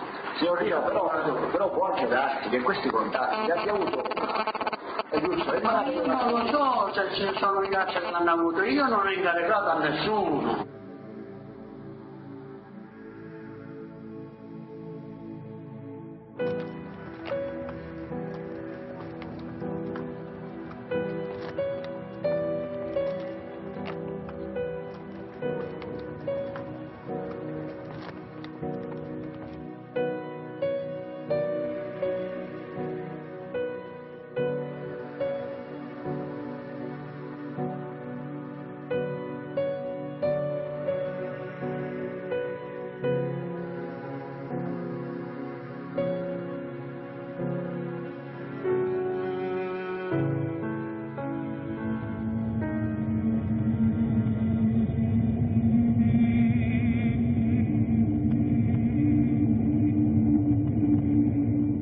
Documenti che erano qua dentro sono quelli forse decisivi per la trattativa. Quelli decisivi per la trattativa e probabilmente oggi sapremmo tante verità su quella stagione delle stragi se avessimo messo le mani su quelle carte. Dottorina, si dice, avesse molti documenti in quella casa, in quella villa. Eh, certo doveva averne una quantità enorme. Pensi che quando l'abbiamo arrestato nelle sue tasche, nel borsello, abbiamo trovato un'enorme quantità di documenti, di pizzini, eh, sui quali abbiamo indagato per, per, moltissimi mesi, per anni, perché si riguardavano rapporti, appalti, grandi opere, distribuzione di lavori, sottoposizione a pizzo, messe a posto. E quindi tutta una, una, una quantità di documenti sui quali era necessario indagare per individuare le persone che li avevano mandati, che li dovevano ricevere, cioè, pensi un po' cosa ci doveva essere a casa nella cassaforte. No, la perquisizione non è stata fatta perché si voleva favorire Rina o gli uomini di Cosa Nostra. La perquisizione non è stata fatta perché bisognava preservare quella trattativa e forse era parte di quella trattativa, nel senso che qualcuno dentro Cosa Nostra diede per vie indirette l'imbeccata giusta per individuare Rina, offrendo Cosa Nostra come capro espiatorio dottor Rina, ma, ma i documenti no. Esatto. I documenti che aveva Rino dovevano passare alle mani di chi sarebbe venuto dopo. E passarono nelle mani di Provenzano? La nostra ricostruzione, anche nel processo trattativa, sì. Oggi sono nelle, nelle, nelle, mani di Matteo Messina Oggi sono certamente... Non può non essere il capo del momento a tenere questi documenti che sono la vera arma del potere e l'arma del ricatto. Dice Massimo Ciancimino che il Provenzano avrebbe eh, addirittura indicato su una mappa topografica il luogo in cui eh, si trova la villa qui a Bernini, sostanzialmente. Ecco, lei, io, non io le posso dire una cosa, che Ciancimino non ha mai eh, saputo niente di me, ma Provenzano, forse ancora altrettanto, Provenzano era un mio paesano, era un corleonese devo dire la verità, marito non lo conosce, questo posso dire un corleonese. Però Provenzano non ho mai saputo dove abito io, Provenzano non mi poteva far arrestare perché non lo sapeva, Badduccio di maggio nemmeno, però Badduccio di maggio qualche volta me la stava là cercando, cercando, si dice le posizioni, una mi avesse potuto trovare, perché non mi trovavo il primo giorno, il secondo giorno, il terzo giorno, come ero che semanata a cercare, a cercare, perché prima fece apre tante belline, tante cose, tante perquisizioni che lei le trova a qualche bar. E quindi queste belline cercavano a Torino e non lo trovavano mai però dopo giorni eh, purtroppo è successo che vengono quella mattina io uscivo e ne arrestarono e sopra, sopra, un furgone che era lì che io vedo questo furgone quando esco e disse ma sto furgone? Mi impressionò questo furgone. Dentro questo furgone c'era i carabinieri con Damaggio. Eh, logicamente tutto insieme a me e, e sono io qua, eh, signor procuratore, questa è la ragione, la verità, che Provenzano non poteva dire, non poteva fare, perché non sapeva dove, dove ero, dove non ero.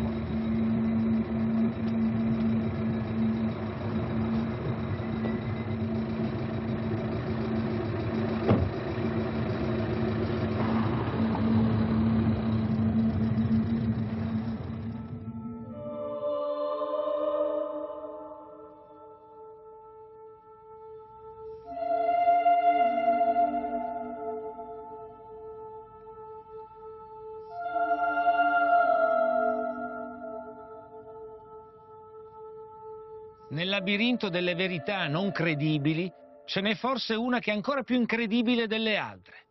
Bernardo Provenzano poteva essere catturato il 31 ottobre del 1995, quando si trovava in un casolare nelle campagne vicino a Mezzoiuso. Ma il colonnello Mori decise di non intervenire, di non far arrivare i suoi uomini, perché intorno a quel rifugio c'erano pecore, c'erano animali, c'erano cani e poi non erano certi di aver individuato davvero il covo giusto. Luigi Lardo, capomafia della provincia di Caltanissetta, divenuto confidente del colonnello Riccio con il nome in codice Fonte Oriente, il 31 ottobre del 1995 incontra il boss provenzano nel covo poco distante da Mezzoiuso, accompagnato da Lorenzo Vaccaro, fratello dell'autista del boss. Gli uomini del Ross sanno tutto, ma non fanno irruzione. Ilardo aspetta invano per otto lunghe ore. Dopo che lui portò, li portò qui il 31 ottobre, sì. continuavano a ripetere, nonostante tutte le indicazioni precisissime che venivano date, e anche quindi il supporto dei rilievi fotografici scattati dai carabinieri, continuavano a ripetere che non potevano procedere a questo servizio perché non individuavano il covo di Provenzano. E addirittura il colonnello Riccio ci sarà un momento dove dirà io ormai mi vergognavo a chiedere ai Lardo di tornare nuovamente lì, in quanto le indicazioni erano così semplici, avevamo avuto le fotografie, ci eravamo stati, che non sapevo come giustificargli che un nucleo operativo così importante all'avanguardia, con delle anche con dei mezzi sofisticati, delle apparecchiature sofisticate, non riuscissero a individuare questo luogo. Proprio è il colonnello Rizzo dirà questo l'imbarazzo che lui ebbe nella terza volta di chiedergli di tornare in questo posto. Quindi lo caricano in questa macchina, gli mettono un cappuccio in testa fanno vestire di nero, li fanno caricare dietro il sedile della macchina. Tu pensa un gigante, no? Di due metri, io me lo immagino, sofferto, rinchiuso, no? Accovacciato. Non so neanche io come hanno fatto a farglielo entrare. Il sedile di dietro. Sembra tipo quando porti gli animali al macello, no? Che li chiudi nelle gabbie devi fare il viaggio in quel modo. Ecco cosa penso. Adesso io sto provando a portarti laggiù.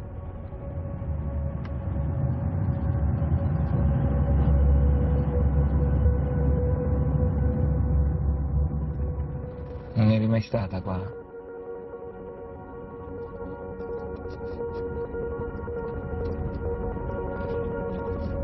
Quella che vedi laggiù è Corleone. Quindi il rifugio è qua dietro, il suo covo dove per anni ha vissuto indisturbato la sua latitanza provenzale. Praticamente vedeva la sua Corleone. Poi si imbocca quella strada lì, sterrata che vedi. Si abbandonava questa strada principale e poi si arrivava qua.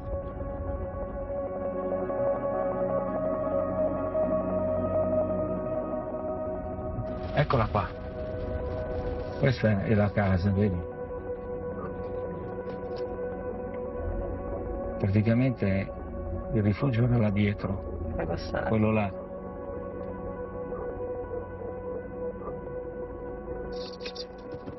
Puoi scendere? No. Buongiorno. Volevamo solo vedere da vicino do- dove c'era dove era stato tenuto latitante Provenzano. Per favore vada via perché chiamo i carabinieri. È lì? No, qua Era lì Provenzano, Ho no? sbagliato completamente. Ah, non è questo? No. C'è sbagliato? È sicuro? Per favore, vada via. Ma davvero è sbagliato? Certo che è sbagliato. È Ah, non era qua proprio? Eppure mi avevano detto che era quella casa là. Non esiste. Ma lei come si chiama? Lei se ne vada perché altrimenti chiama i carabinieri. Qua è proprietà privata. No, no, lo so, infatti adesso andiamo via. Ma da tanto tempo che lei sta qua. Per cortesia andate via. Va bene, andiamo. Bene? Però perché dire balle, bugie? Perché lei deve dire una bugia? Lei sa la verità, perché deve dire la bugia? L'argomento. Dovete andare via. Va bene. Peccato. Neanche a distanza di anni. Via. Va bene. Andare a vedere là non ci lascia. Via, via. È proprietà privata. Va bene. Buona giornata, grazie. Arrivederci.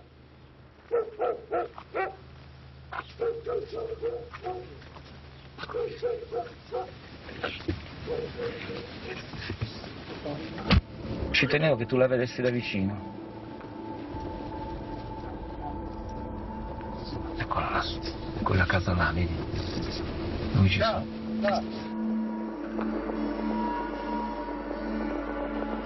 L'uomo che avete sentito si chiama Giuseppe La Barbera e non dice la verità.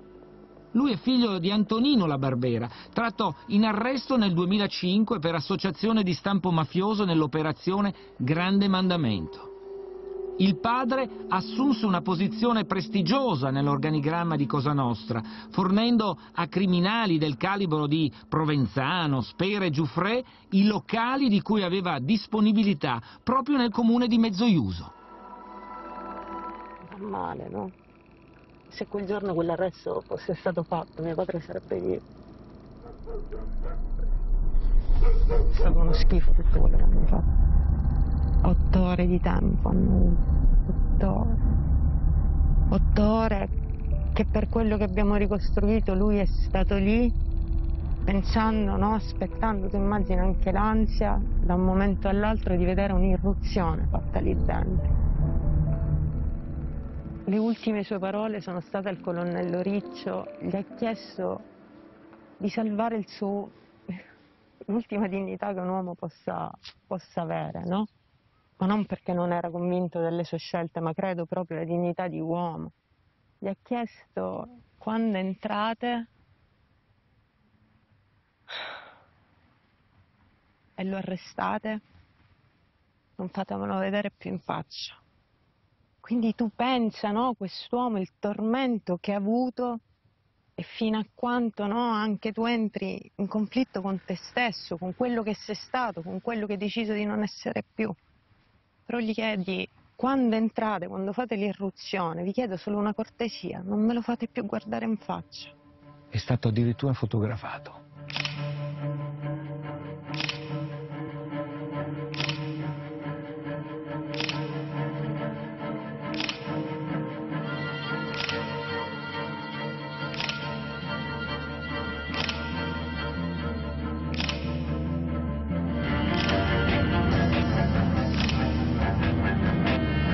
Perché non sono mai entrati secondo te? Mi sono dovuta sentire nel, nel processo della trattativa che non hanno fatto questo servizio perché le pecore e i pastori impedivano di, pro- di procedere a, quel, a quell'arresto. Per, me è inaccettabile, ma io credo che per qualsiasi italiano dovrebbe essere inaccettabile sentire il ROS, reparto speciale, mirato alla salvaguardia del terrorismo, della criminalità organizzata, e mi vengono a giustificare le pecore pastori. abituandosi per anni e anni a lavorare in maniera eh, individuale, in maniera decisionista, in maniera, eh, a volte si rischia di lasciare magari per strada qualche risultato magari O positivo. perché Provenzano non andava con, Beh, questa, con catturato. questa è un'illazione che capisco. È, è il grande mistero. No? perché- Lei ha un attimo lì, ce l'ha lì ne, parlano, Provenzano. ne parlano i giornali, quindi le televisioni, quindi non è Ma lei, lei sarebbe entrato. Io sarei entrato, perché male che vada non lo prendi, lo prenderei un'altra volta. Non è che se non prendi, non so quante volte uno non prende, va nel posto e trova la casa vuota, non trova nessuno. No, perché la domanda che mi riesco, a cui io sinceramente riesco a darmi una risposta, tu non entri quel giorno, ma il giorno dopo puoi tornare. Non sono mai tornato. Anche. Ma lei è molto bravo, lo può chiedere direttamente ai, ai colleghi del ROS queste cose, che saranno anche più precisi. C'è stato sei anni da, da quel giorno in poi indisturbato là. Sei anni. Sei lunghi anni. Sei anni, 11 anni, 11 anni dopo l'hanno arrestato, ma per sei anni lui è rimasto là dentro indisturbato. Cioè con tutta la buona volontà che una non vuole pensare male, non vuole essere per forza no? quella che deve addossare delle responsabilità, deve, deve- deve vedere il marcio nelle situazioni. Sei anni. La gente può, le persone normali che, che non ci hanno perso il papà si possono rassegnare. Ma io mi potrò mai rassegnare a una cosa del genere? L'avere ritardato per 7-8 anni la cattura di Provenzano è stato un atto politico di una gravità assoluta. Perché si è consentito all'organizzazione Cosa Nostra di, eh, dopo la, la- la- la batosta ricevuta con l'arresto di Rina, si è, si è dato la possibilità di ricostituirsi con una nuova filosofia, che era la filosofia della sommersione, tipica dell'atteggiamento di Provenzano. E da quel periodo l'organizzazione è diventata meno, meno percepibile, quindi agli occhi della gente è meno pericolosa, quindi è diventata meno una, una esigenza e un'emergenza eh, eh, politica prima ancora che criminale. Si è cancellata dall'agenda politica la vicenda mafia perché non se ne parlava più. La strategia di Provenzano aveva vinto. Mori venne assolto per la mancata cattura di Provenzano nel covo di Mezzoiuso.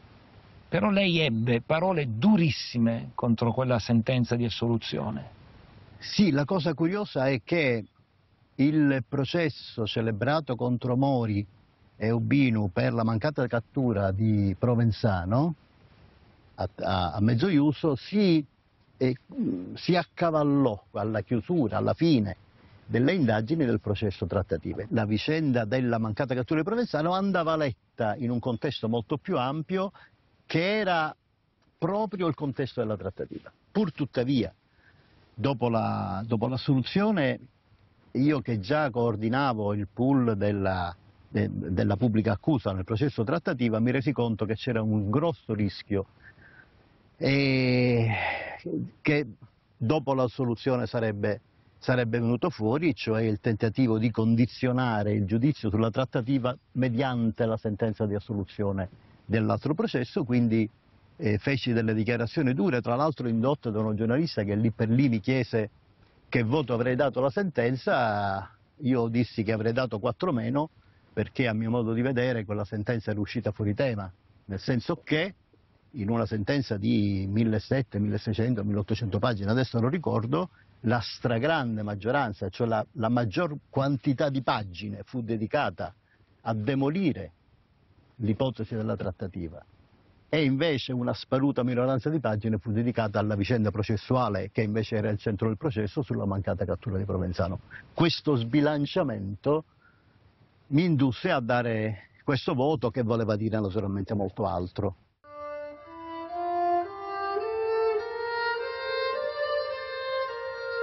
Questa storia però ha un finale tragico. Dopo aver partecipato il 2 maggio 1996 a Roma alla riunione per entrare nel programma di protezione alla presenza del colonnello Mario Mori, del colonnello Michele Riccio, della dottoressa Teresa Principato e del dottor Giovanni Tinebra, Luigi Lardo torna a Catania. Passano solo otto giorni e il 10 maggio viene ucciso sotto la sua abitazione. Ad abbracciarlo per l'ultima volta c'è sua figlia. Se avessi potuto l'avrei strappato alla morte. I giorni della mia vita a seguire, tutti questi 25 anni, avrei voluto il, il potere di strapparlo alla morte. Questo avrei voluto fare. Hai sentito esplodere i colpi fuori? Certo, Da certo. casa tua? certo, Ma hai pensato a lui o no? subito. Subito. Sei sceso in strada l'hai visto lì? Sì, L'hai abbracciato il corpo? volevo tirarlo fuori da là dentro. Eh, volevo proprio riprendermelo. Questo è quello che volevo fare. Le mani. Ha tentato di ripararsi no, dai, dai proiettili con le mani. Aveva i buchi nelle mani. Tu pensi, no, un gigante di quello che alla fine cercava di ripararsi con le mani dal fuoco.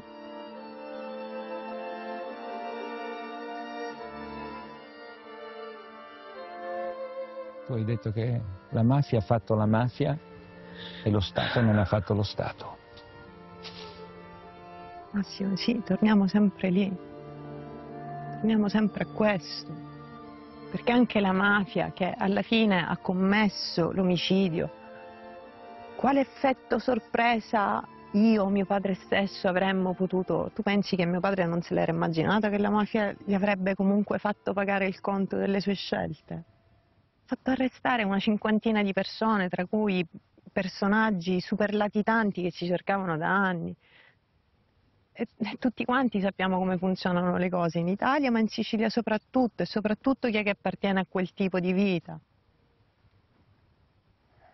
Però il problema è chi è che lo doveva accompagnare in questo cammino, chi è che lo doveva gestire, chi è che lo doveva proteggere. Mio padre era a Roma, ha fatto una riunione ristrettissima, poi pochi giorni dopo torna in Sicilia e viene ammazzato. Così è stato. Nessuno avrebbe dovuto sapere che collaborava. Nessuno. Passano troppi pochi, po- solo otto giorni da quella riunione. Anche perché fino a quando lui è stato tenuto segreto e quindi il nome Luigi Lardo non era mai stato svelato, ma era chiamato Fonte Oriente, lui per due anni ha fatto delle operazioni brillanti. Perché dal momento che va lì e si presenta non più come Fonte Oriente ma diventa ufficialmente Luigi Lardo succede questo? E perché dal momento che lui sedendosi lì di fronte all'elite del tempo dei magistrati immediatamente non viene messo sotto protezione, scortato, non lo volete mettere sotto protezione, ok, scortatelo. Come si fa? Che, che risposta ti, ti dai oggi? Che, che risposta mi devo dare? Che non c'è stata la volontà di farlo. Non c'è stata la volontà di proteggerlo, non c'è stata la volontà di fare questo arresto, non c'è stata la volontà di, di, di salvare anche il patrimonio che lui custodiva. Perché comunque sedendosi di fronte a quei tre magistrati ha dato una, un inizio di dichiarazioni che chiunque no, l'avrebbe, credo, blindato. Soprattutto di fronte a una persona no, che ti sta dicendo per la prima volta vi darò la risposta su tutte le stragi, su, su, su, sulle situazioni più incredibili che l'Italia ha vissuto. Ecco, Riccio era il colonnello con cui lui aveva un grande rapporto. Tu poi l'hai, vi siete sentiti, vi siete incontrati, l'hai conosciuto.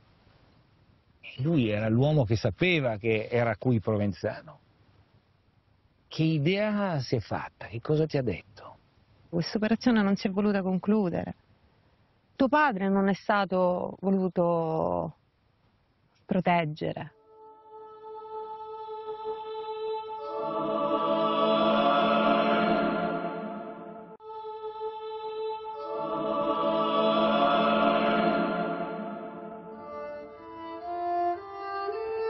La latitanza di Bernardo Provenzano continua indisturbata per altri 11 anni, fino a quell'11 aprile del 2006, quando viene arrestato a Montagna dei Cavalli, nel comune di Corleone, non molto lontano da quel casolare dove Luigi Lardo aveva atteso per ore che i Ross facessero irruzione.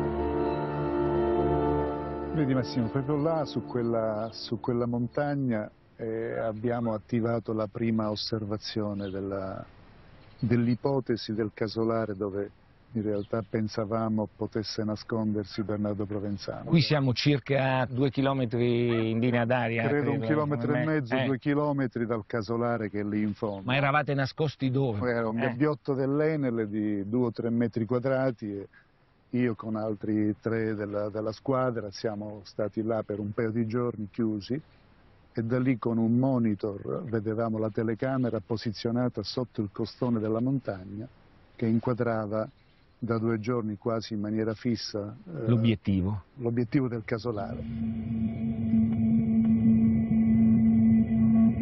E in quei due giorni di osservazione notiamo un casolare completamente chiuso nella parte dell'abitazione, non filtrava luce neanche la sera di notte, quindi tutto ci lasciava pensare che fosse assolutamente disabitata, mentre accanto però c'era un eh, laboratorio di produzione della di formaggi ricotta gestito dal proprietario del casolare che e ovviamente c'era anche un via vai di persone che Quindi era, era anomalo, cioè eh, Provenzano ragionava, qui non mi cercano perché ci sono delle persone e, e- non, e non è pensabile che il numero uno si nasconda dove c'è movimento.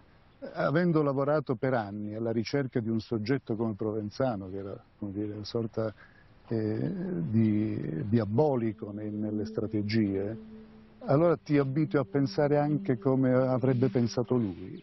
E Allora, quindi probabilmente quello dici, poteva essere... Se quello è un elemento suo che lui può pensare che per noi può in qualche modo farci allontanare, forse è il caso di approfondire e di verificare meglio se proprio la, la frequentazione di soggetti di quel casolare non fosse proprio un'ulteriore copertura. Eccolo qua. Quello, quello è il casolare che vedevamo dalla, dalla montagna.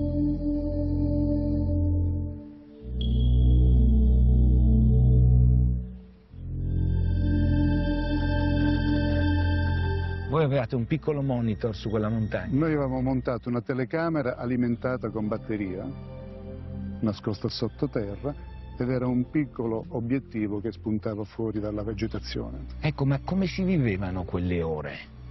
Emotivamente, la paura di essere magari avvistati da un pastore che potesse allertare. E c'era sicuramente Ecco, molta, molta tensione, l'ansia era fortissima, ma basta pensare che l'emozione ce l'ho ancora oggi nel tornare qua dopo 15 anni, perché stavamo cercando una persona latitante da 43 anni di cui nessuno aveva eh, saputo raccontare di averlo fisicamente incontrato, nessuno lo aveva visto in volto.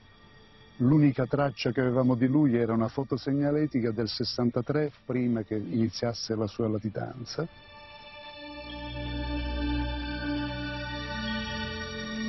Da questo monitor, che cosa vedevate? Eh, eh, si notava movimento? Si notava eh, movimento su quel casolare accanto sulla destra, perché là si faceva il formaggio e la gente andava per comprarlo, per prendere l'acqua, ma il- la casa, quella che vedi con la tettoia rossa, era sempre chiusa e neanche il proprietario entrava in quella casa. L'unica stranezza che notammo, la prima, vedi quel corpo avanzato che c'è, era il bagno eh, di quel casolare, che dagli accertamenti fatti era un bagno costruito mh, da meno di un anno.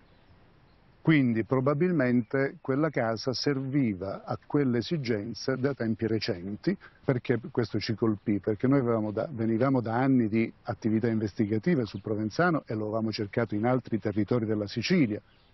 Non più di un anno prima avevamo fatto terra bruciata a Provenzano arrestando tutti i suoi fedelissimi e noi avevamo ipotizzato che venendo meno il terreno dei suoi fedelissimi ormai tutti arrestati, L'unico punto in cui poteva in qualche modo nuovamente sentirsi protetta era tornare al luogo di origine che era Corleone. E così è stato perché da un ambientale a casa del fratello sentiamo la famosa frase ma Iddu ancora cae.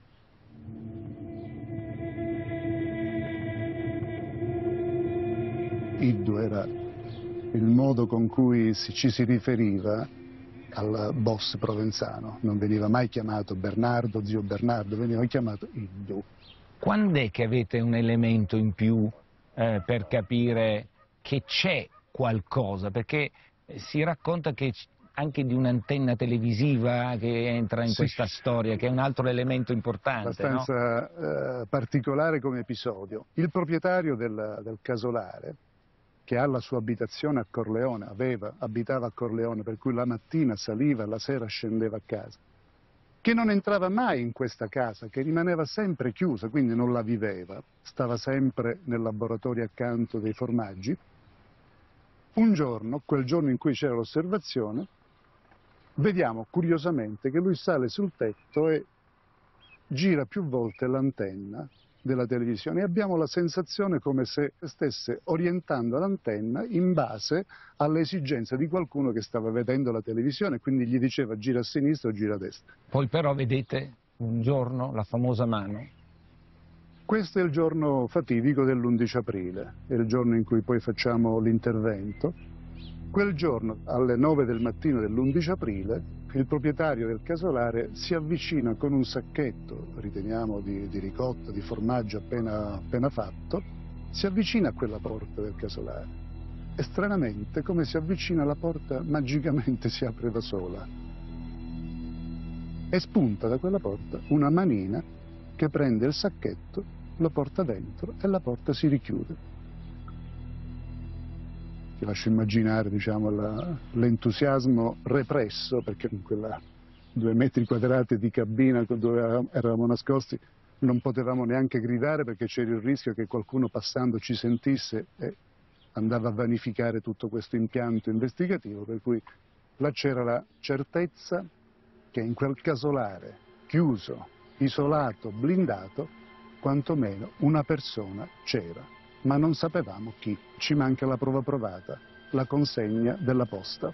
Andiamo da vicino, raggiungiamo Già. quel posto che era stato l'ultimo covo di Bernardo Provenzano. Mi racconta esattamente quello che è successo, il lavoro che non si è visto.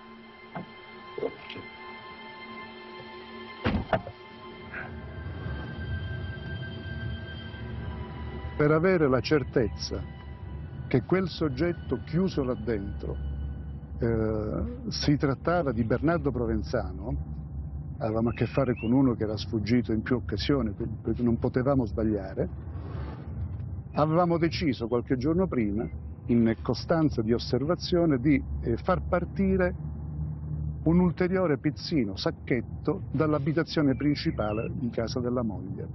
E così facciamo. E quella mattina eravamo là, appostati in attesa che Bernardo Rina salisse a consegnare la posta. L'apprensione era notevole finché la mattina dell'11 aprile, dopo aver visto quella manina, là, fu il fuoristrada di Bernardo Rina imbocca Montagna dei Cavalli e effettivamente lo vediamo da quella telecamera dalla montagna entrare in questo cancello a sinistra e arriva in questo casolare.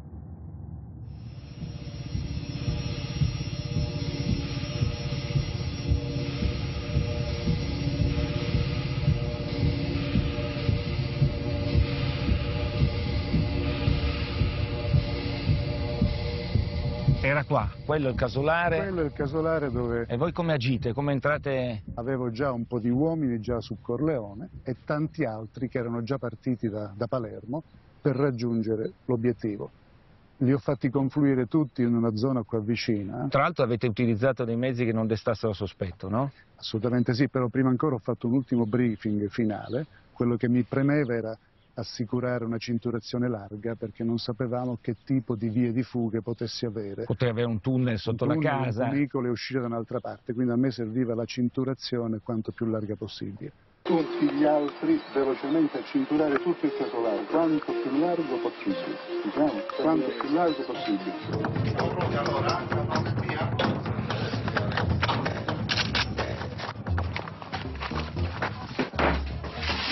Fatto questo briefing finale abbiamo messo gli uomini all'interno di un furgone occultato, un furgone compatibile con quelli che già frequentavano la zona, quindi non avrebbe destato sospetti, e io insieme ad altri tre miei colleghi ci siamo messi nel primo fuoristrada e siamo entrati. Lo stesso Questo era aperto? Questo era aperto. Lo stesso fuoristrada? Lo stesso fuoristrada, dello stesso modello di Bernardo Rina.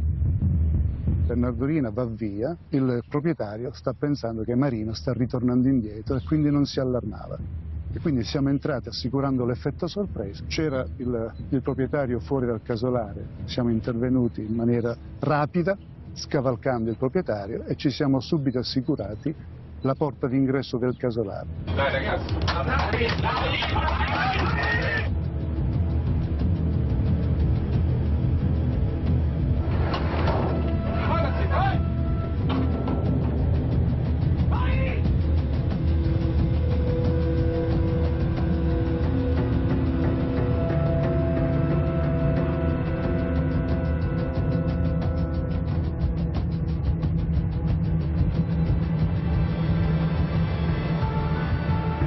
è buttato sulla porta. là. E sono entrato io per primo, ho trovato Provenzano che stava per chiudersi dall'interno la porta, siamo riusciti a- ad aprirla e, e là ha avuto qualche momento di, di tensione perché lui non sapeva chi fossimo. In questi casi la cosa che temono in assoluto è che possa essere una cosca avversa o qualcuno che vuole ucciderlo. Dopo pochi minuti, avendo avuto la consapevolezza che si trattava della polizia, si è da quel punto di vista rasserenato e, e lì ha, ha- ha avuto la consapevolezza che i suoi 43 anni di latitanza stavano per finire.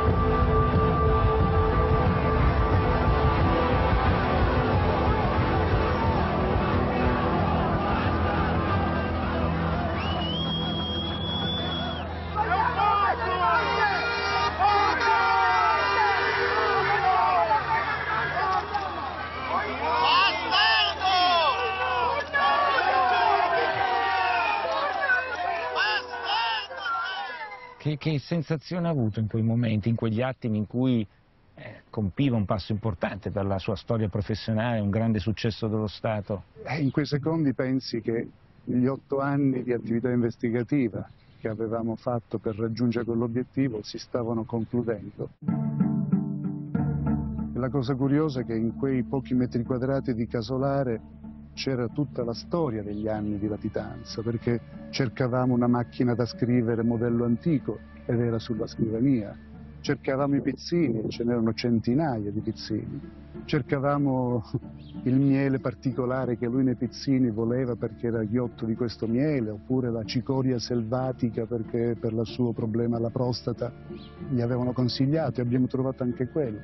Era un po' come in pochi metri quadrati riaprire tanti cassetti e ogni cassetto erano segmenti dell'attività investigativa, tutti racchiusi là, compreso il crocefisso al collo, che era il, il segno di quella conversione, di quel legame con con la religione cattolica di cui sapevamo e che sapevamo che lui in qualche modo era molto credente. Che sensazione ha avuto di trovarsi di fronte a un uomo che in quel attimo aveva paura, no? come Totorina ha avuto molta paura quando ultimo l'ha catturato, eh, anche lui era così, ha reagito con paura.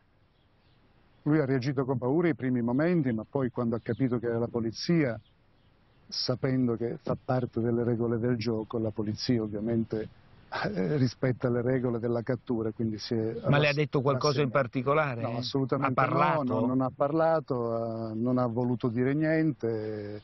Eh, sapevamo tutti che era in qualche modo suo, la sua forma di, di, arrendersi a uno Stato che dopo 43 anni gli stava mettendo le manette. E per noi era un momento importante, non soltanto perché stavamo chiudendo dal punto di vista militare la ricerca di, una, di un latitante importante che andava avanti da otto anni, ma se contestualizziamo meglio chi era Provenzano in quegli anni, in realtà era, eh, era, anche una forma, direi quasi definitiva, di liberazione dalla pressione mafiosa sui siciliani, perché Provenzano rappresentava non soltanto il super latitante, ma rappresentava il mito dell'imprendibilità, e rappresentava quell'alibi per molti siciliani che ma tanto la mafia vince sempre, perché tanto a quello non lo prendono.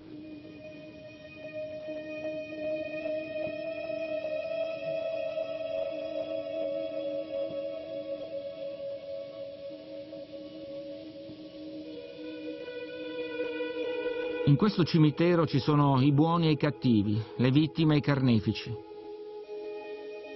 C'è Placido Rizzotto, il sindacalista assassinato a Corleone, e il boss Bernardo Provenzano, morto in carcere nel 2016.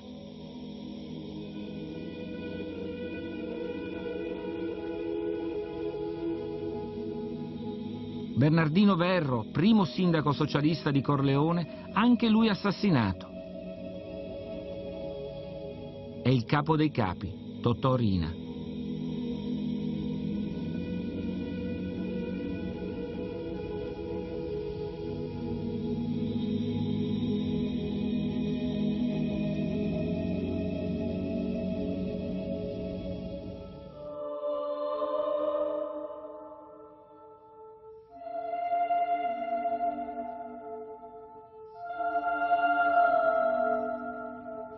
all'inizio del giugno del 1993 qualcuno informa, ed è un altro dei misteri, Matteo Messina Denaro, che sta per arrivare per lui un mandato di cattura.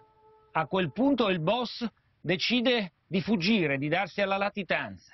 Ma prima di farlo scrive una lettera a una professoressa di Castelvetrano, una ragazza molto giovane con la quale lui aveva una relazione. In questa lettera dice non posso far altro che diventare invisibile, perché sono un perseguitato della giustizia.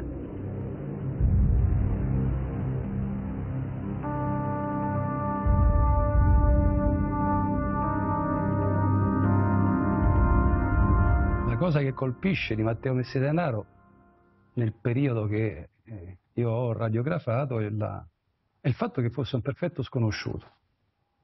Cioè che un signore che mette le bombe, che è il figlio del capomafia di Castelvetrano, del capo mandamento di Castelvetrano, uno storico uomo d'onore,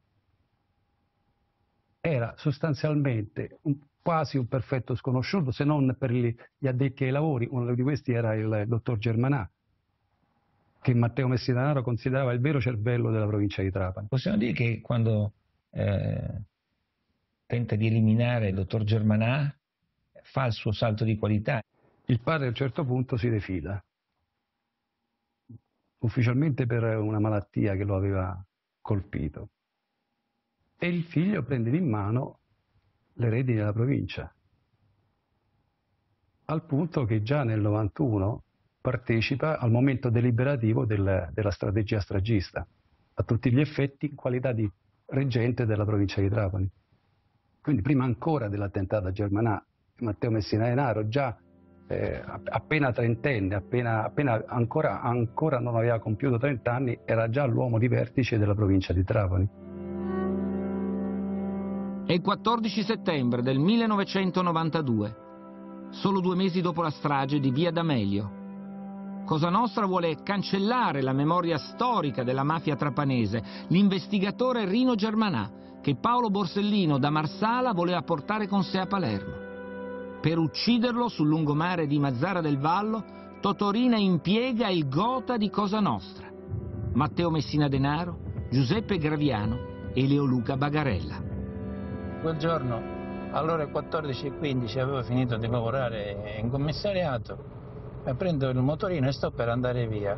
E un poliziotto piglia, eh, mi ferma e, e, mi dice, dottore, dice, che fa? Dice, le dispiace? Dice, se oggi eh, lei eh, si porta la panda che deve essere ricoverata per la sostituzione delle pasticche dei freni ed io passerei alle 4 a casa sua con un'altra macchina da ricoverare e quindi salgo sulla panda piano piano me ne vado verso casa. Imbocco il lungomare di Mazzara del Vallo dove mia suocera teneva una casetta a mare a 300 400 metri massimo dalla villetta di mia suocera, sento il rombo di un motore in accelerazione. Così guardo lo specchietto retrovisore e dico, ma che fa questo? Serpeggiava. Non ho il tempo di realizzare cosa stesse facendo che mi affianca, si sporge uno dal finestrino con fucile io lo guardo, pom, e mi spara, mi rannicchio istintivamente e mi salvo. Mi ha ferito qui, sanguinavo, però non ho perso, non mi sono impietrito la macchina loro si è fermata più avanti per l'abbrivio, io freno e scendo. Prendo la pistola che tenevo dietro, ci sparo, e, prendo il lunotto e loro si disarmano. Così, gli sparo così e poi loro rimangono fermi un attimo e io vado verso la spiaggia.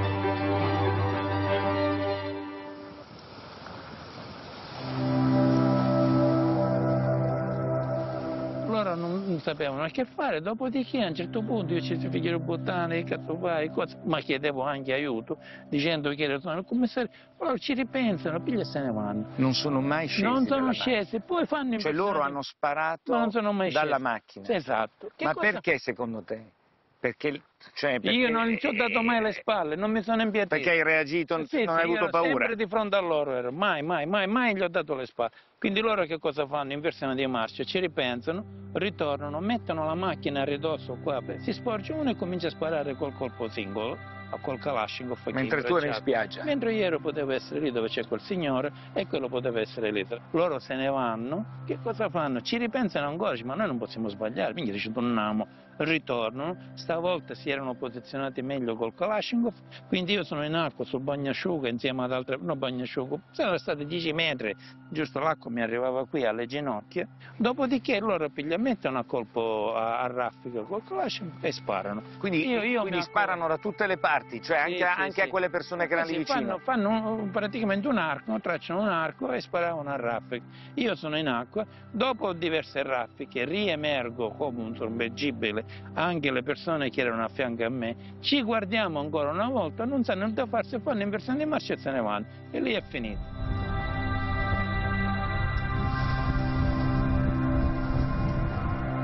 Quegli uomini non erano uomini qualsiasi, erano tre uomini importanti di Cosa Nostra. Chi erano?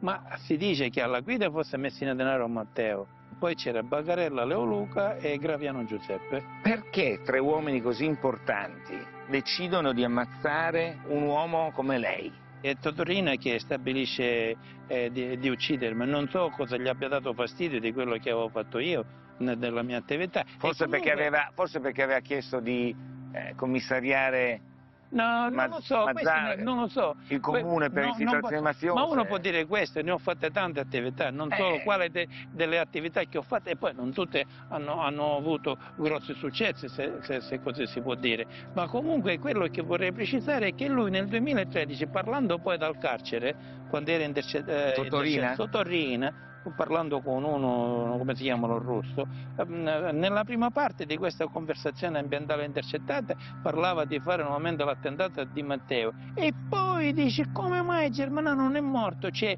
subito nel, nella sua consecuzione logica evidentemente eh, mi rimurginava ancora nella testa perché non fosse morto e si lamentava del gruppo di fuoco che non era stato capace di finirmi, mentre lui faceva saltare i palazzi come fu un micolo, riceve in dialetto.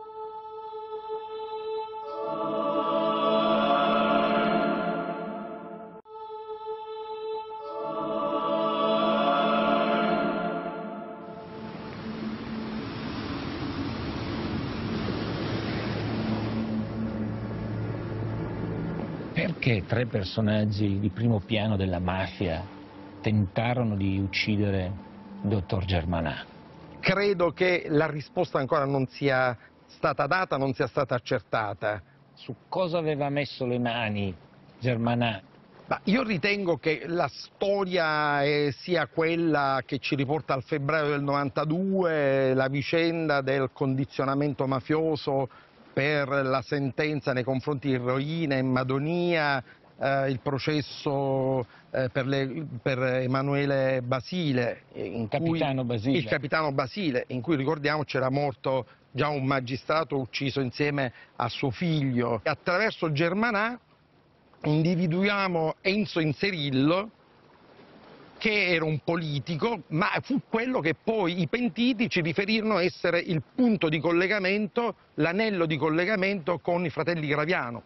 È lui che a un certo punto, secondo le dichiarazioni di Sinacori, va, credo, a Cefalù eh, dove c'era un, un, summit di, di, mafia e dice ragazzi adesso basta con le bombe, quindi aveva la possibilità di rivolgersi in questo modo a mafiosi del calibro di Graviani portando evidentemente delle ambasciate. Ecco, l'individuazione di Inzerillo credo che sia la chiave di tutto. Quindi Germanà aveva messo le mani sugli incroci politiche, affari e per questo andava eliminato, cioè non c'era solo la mafia nella storia di Germanà. Ma Germanà non era l'ultimo arrivato, era uno che aveva un pedigree eh, di investigatore come pochi eh, altri a quel tempo, conosceva tutta la storia della mafia del Trapanese che mh, mm, è esattamente eh, lo specchio di quella corleonese. Insomma, Rina aveva la sede distaccata a Mazzara, in provincia di Trapani, dove nel periodo delle stragi del 92 si, si rifugiano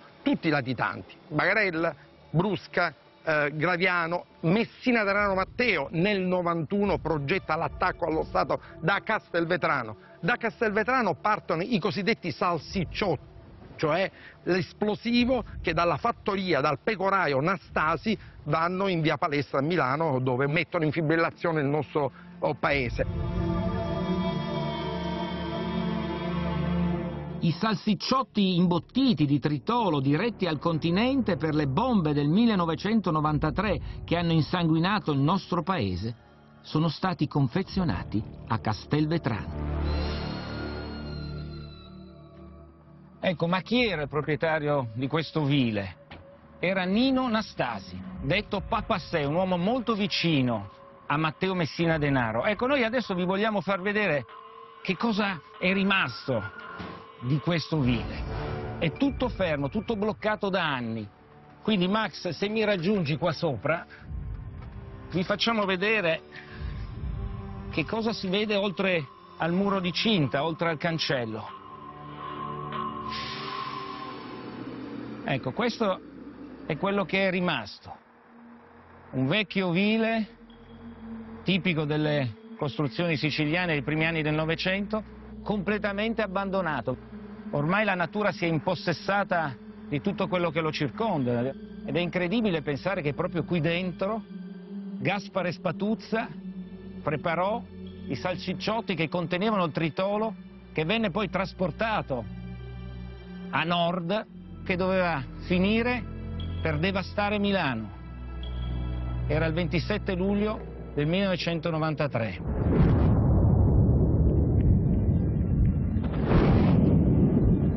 Dopo l'arresto di Nino Nastasi, la gestione di tutto questo vile, di questa azienda, è andata in capo alla moglie. Ed è incredibile come lei, nonostante il marito fosse stato condannato all'ergastolo, sia riuscito a ottenere finanziamenti che valutabili oggi in euro circa 4 milioni di euro negli anni dall'Unione Europea e anche dalla AGEA, che è l'Agenzia regionale siciliana. Solo due anni fa quindi pensate quanti anni ci sono voluti, tutto questo è stato sequestrato. Oggi non c'è più nulla. Fa un certo effetto immaginare che il tritolo, l'esplosivo confezionato qui, partito da qui, dal cuore della Sicilia, sia arrivato a gettare il terrore nel nord Italia,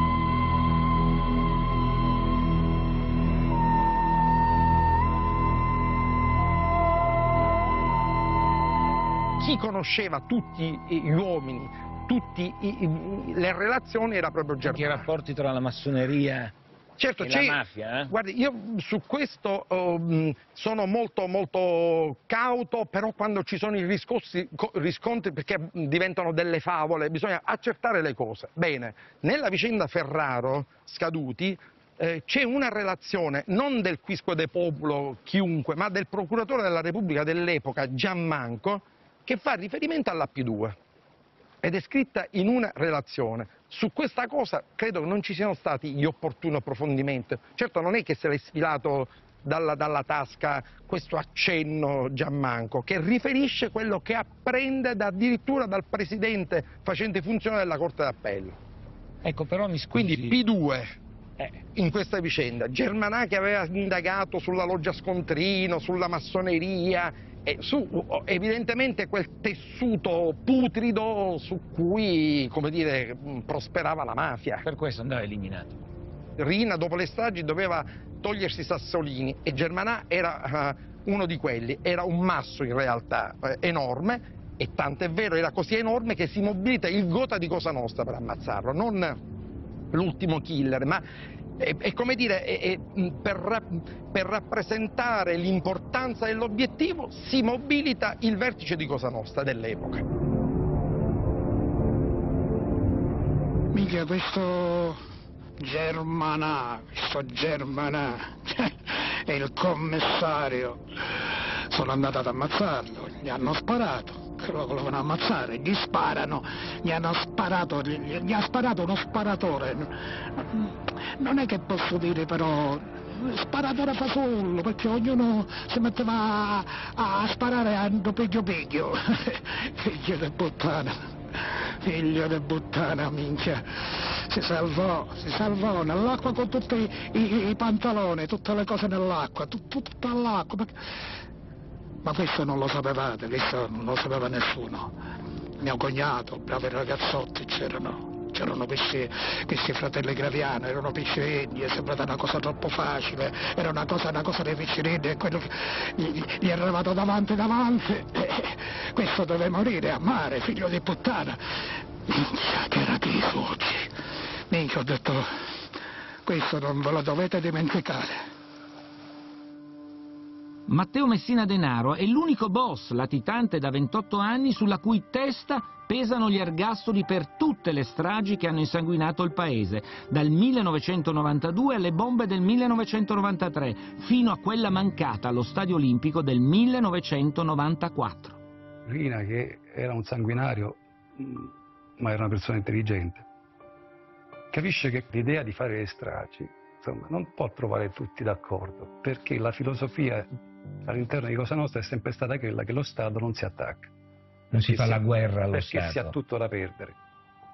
Quindi questa decisione che Rina deve prendere a un certo punto quando comprende che l'esito del maxi processo è segnato, è una decisione che non troverà tutti d'accordo.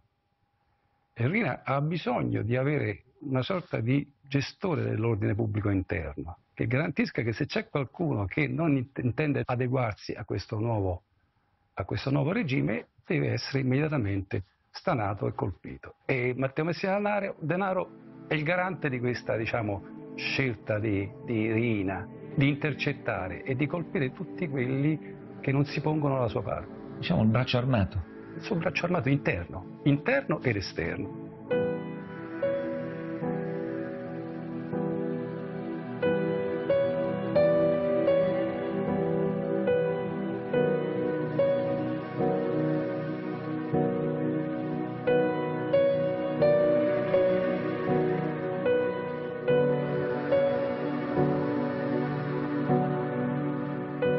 Matteo Messina Denaro va a casa del suo amico Francesco Geraci. Era quello che aveva i lingotti di Rina, eh, che, eh, che, conservava, che il... conservava il, tesoro di Rina e che era anche l'intestatario dei, dei, beni, degli immobili, delle aziende di Rina. Insomma. Cosa gli dice? Che ne pensi se cominciamo a far crollare i, mon i monumenti? Se attacchiamo il patrimonio artistico, secondo te che cosa succede? E se alle bombe, alla morte, al terrore per, per, la morte delle persone aggiungiamo il, la distruzione del patrimonio artistico, che cosa succede? Tu vuoi che qualcuno non vada da Rina a dirgli facciamo un patto? La strategia era proprio quella, cioè l'atto terroristico era finalizzato proprio a creare panico, a diffondere panico, terrore più che panico. Per alzare l'asticella. E, e riguadagnare posizioni e rinegoziare con lo Stato da una posizione di forza le nuove posizioni.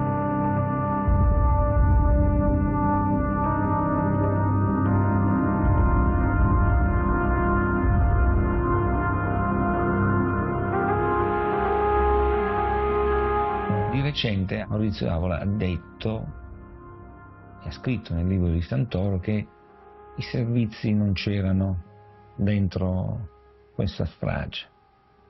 Non c'entrano i servizi, dice Avola. Eh, che idea si è fatto? Non lo so che cosa dice Avola. Io so che quello è un buco nero e tale rimane. Chiunque può mettere dentro quello che vuole? In questo momento chiunque può mettere dentro quello che vuole. Ma a livello processuale non ci sono riscontri né da una parte né dall'altra? Allora, se ci fossero riscontri processuali si sarebbe celebrato un processo.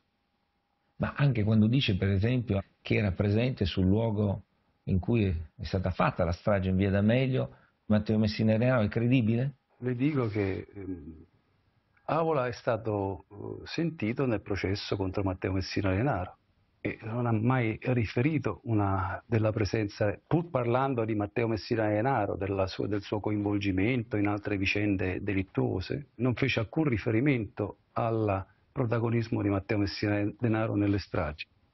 Ma neanche quando lei l'ha interrogato? Questo accadde successivamente.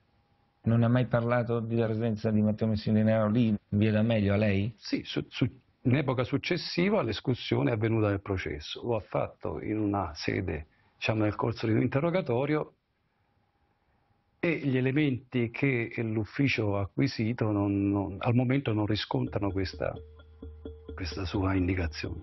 Diciamo che è un buco nero dove ognuno mette quel che vuole ma rimane nero al momento? Rima, rimane nero e in questo momento non c'è eh, possibilità di riempirlo perché... Ma può essere utile dire delle cose per fare, uso una parola forte, dei depistaggi o per dire altre cose? Ma guardi, noi dei depistaggi ne sappiamo qualcosa a Caltanissetta. Non si può dire per partito preso questo è un depistaggio. Dire un depistaggio eh, significa aver fatto delle indagini e aver accertato il depistaggio. Col senno del poi le posso dire che molti sono i depistaggi nei quali ci siamo imbattuti. Qual è il buco nero che lei vorrebbe colmare il, su via D'Amelio? Il movente, il movente, il vero e reale movente della strage di via D'Amelio. Che senso aveva fare un'operazione così? Cosa voleva ottenere Topolina? Allora, è vero che Paolo Borsellino era nel mirino di Cosa Nostra dal 1980, che ci erano stati ripetuti tentativi di ucciderlo.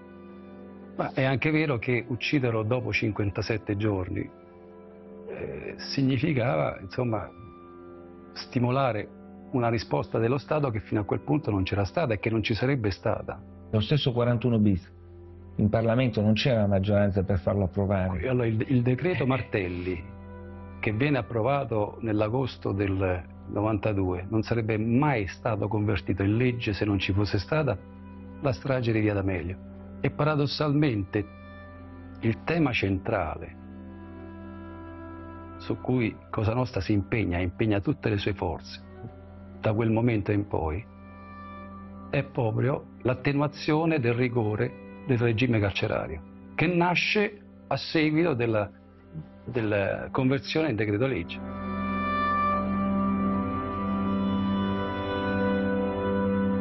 Ma quindi scusi, è quasi come se fosse stato costretto a farlo, che non ha nessun interesse da un punto di vista del sistema mafioso fare un'ulteriore operazione come questa. In quel, in quel momento non aveva nessun interesse. Erano altri che avevano interesse allora forse? È uno dei punti su cui dobbiamo indagare. Anche perché nelle intercettazioni i pentiti si avverte questa esigenza di Totorina di fare in fretta. No, ma nelle dichiarazioni dei collaboratori si avverte anche la- l'intervento esterno. Ci sono dei collaboratori che di- hanno detto che Rina fu costretto a fare questa strage. E torniamo quindi al solito punto, agli incroci tra ambienti esterni alla mafia. Che ci siano stati ambienti esterni che potessero avere interessi, interessi in qualche modo concordanti con quelli di Cosa Nostra che possono avere anche, diciamo, in qualche modo spinto Cosa Nostra a effettuare, non dare, non dare ordini perché Cosa Nostra non prende ordini. Cioè, non- esclu- escluderei una idea del genere, che, che Rina abbia preso degli ordini, perché Rina non prende ordini da nessuno.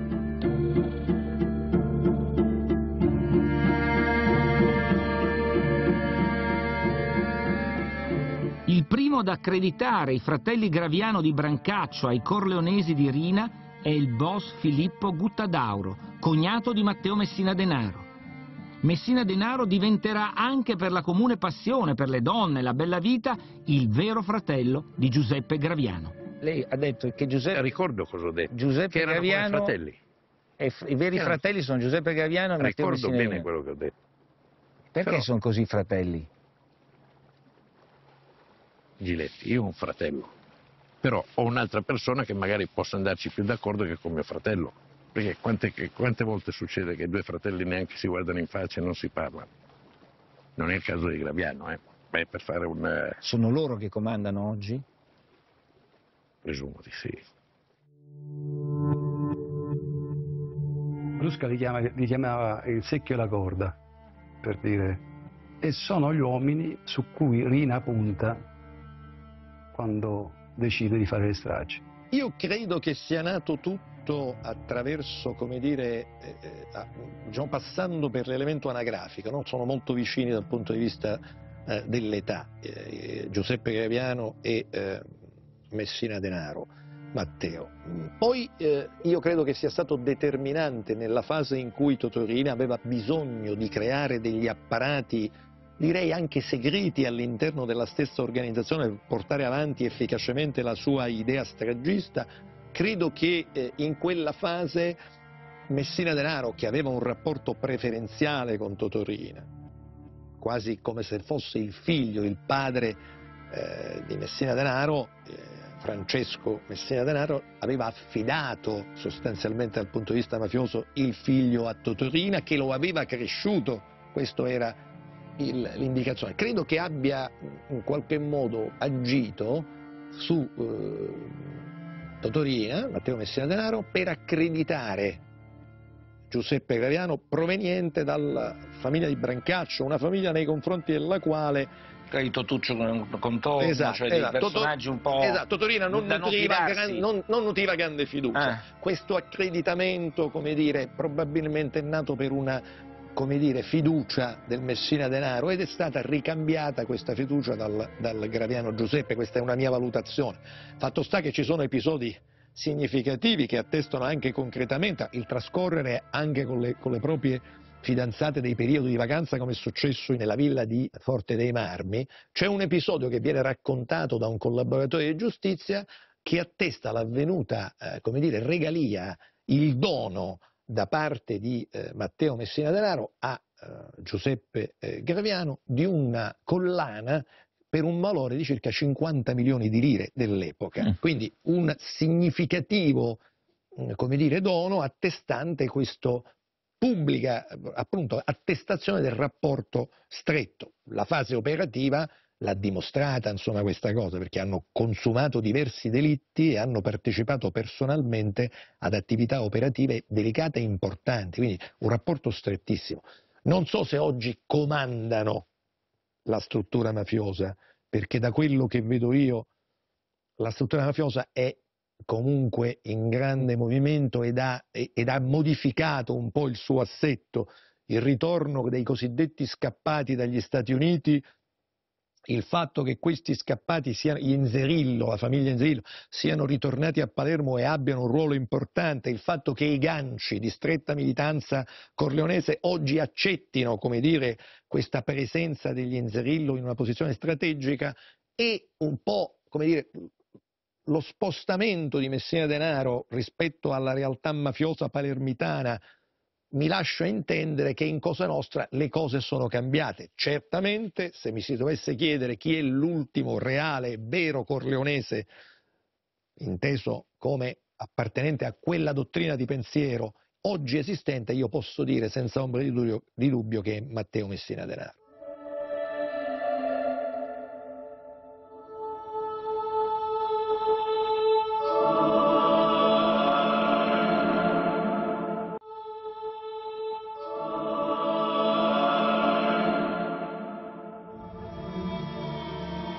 Molte volte gli investigatori sono arrivati ad un passo da lui, ma il super latitante dalle letture forbite da Cicerone a Pennac è sempre riuscito a sfuggire alla cattura.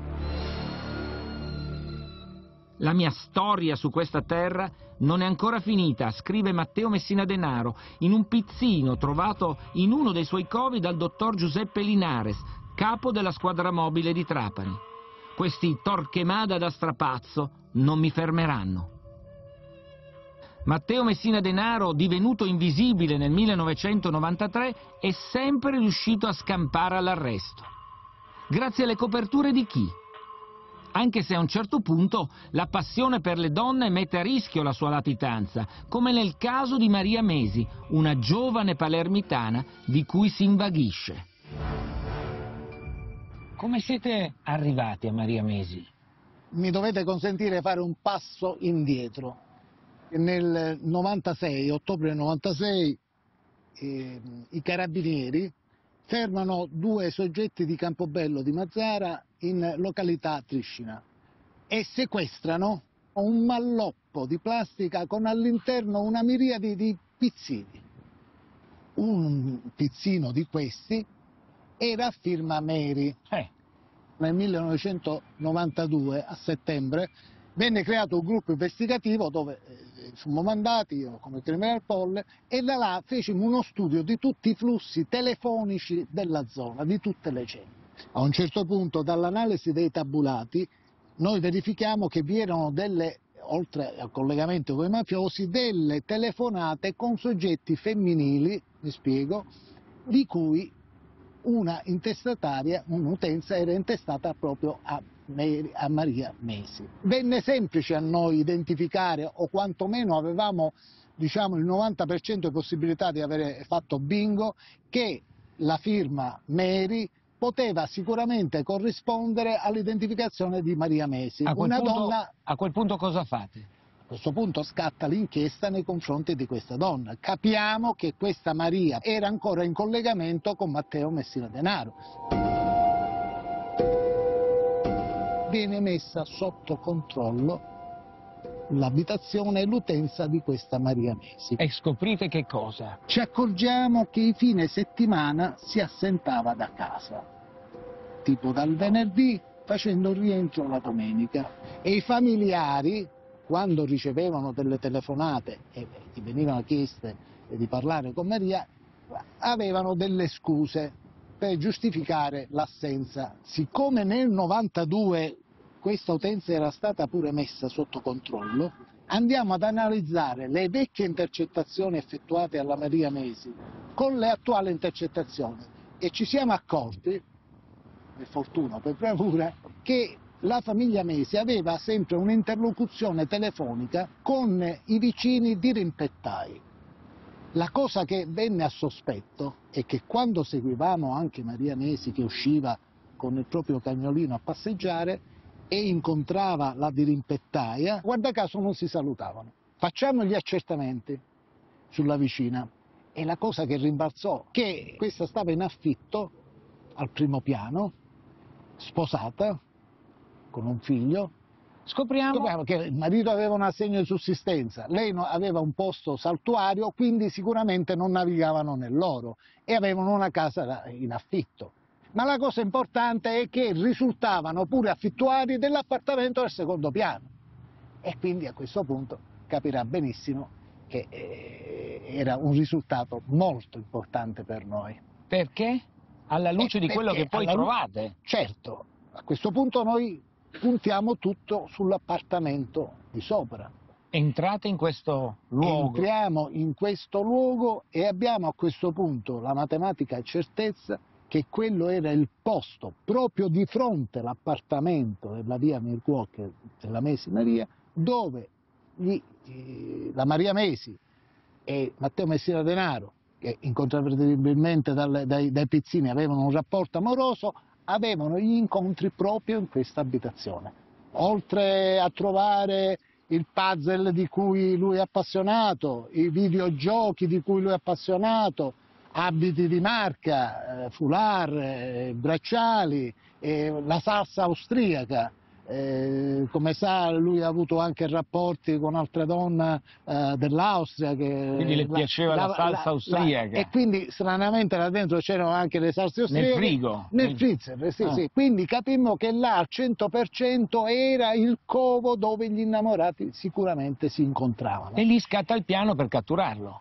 certo E che succede in realtà? Beh, succede che... Mettete eh, microspie, cosa- Assolutamente. E cosa chiaro. riuscite ad avere? Purtroppo nulla. Noi aspettavamo l'incontro, no? Venne una cosa strana. Il latitante non è più andato in questo covo. Si è mai chiesto perché? C'è sempre qualcuno che avvisa il latitante? No, guardi, Matteo Messina Denaro? non rispondo, eh, scusi, a queste domande, Eh mi attengo ai fatti, quello che è successo. Posso dire solamente che, guarda caso, il latitante non, è- non si è più recato E guarda caso. Vabbè, sarà un caso. Va bene.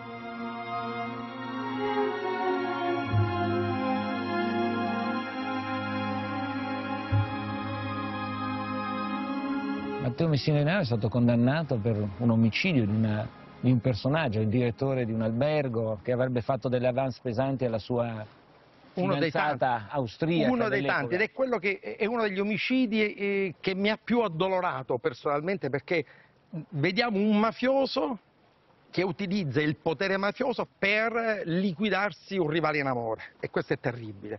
Quel poveretto è stato ucciso in, una gelida, in un gelido pomeriggio di febbraio e non ha capito prima di del trapasso perché lo stavano ammazzando. Ma è credibile solo per un apprezzamento non poteva consentire che nel suo territorio qualcuno insidiasse la sua donna, anche perché Gonzales, forse irresponsabilmente, non comprendendo la caratura di Messiano Matteo, si lasciò scappare una volta che quei quattro mafiosetti che frequentavano il suo albergo sarebbero stati cacciati fuori non appena lui sarebbe divenuto il direttore dell'albergo e firmò la sua condanna a morte.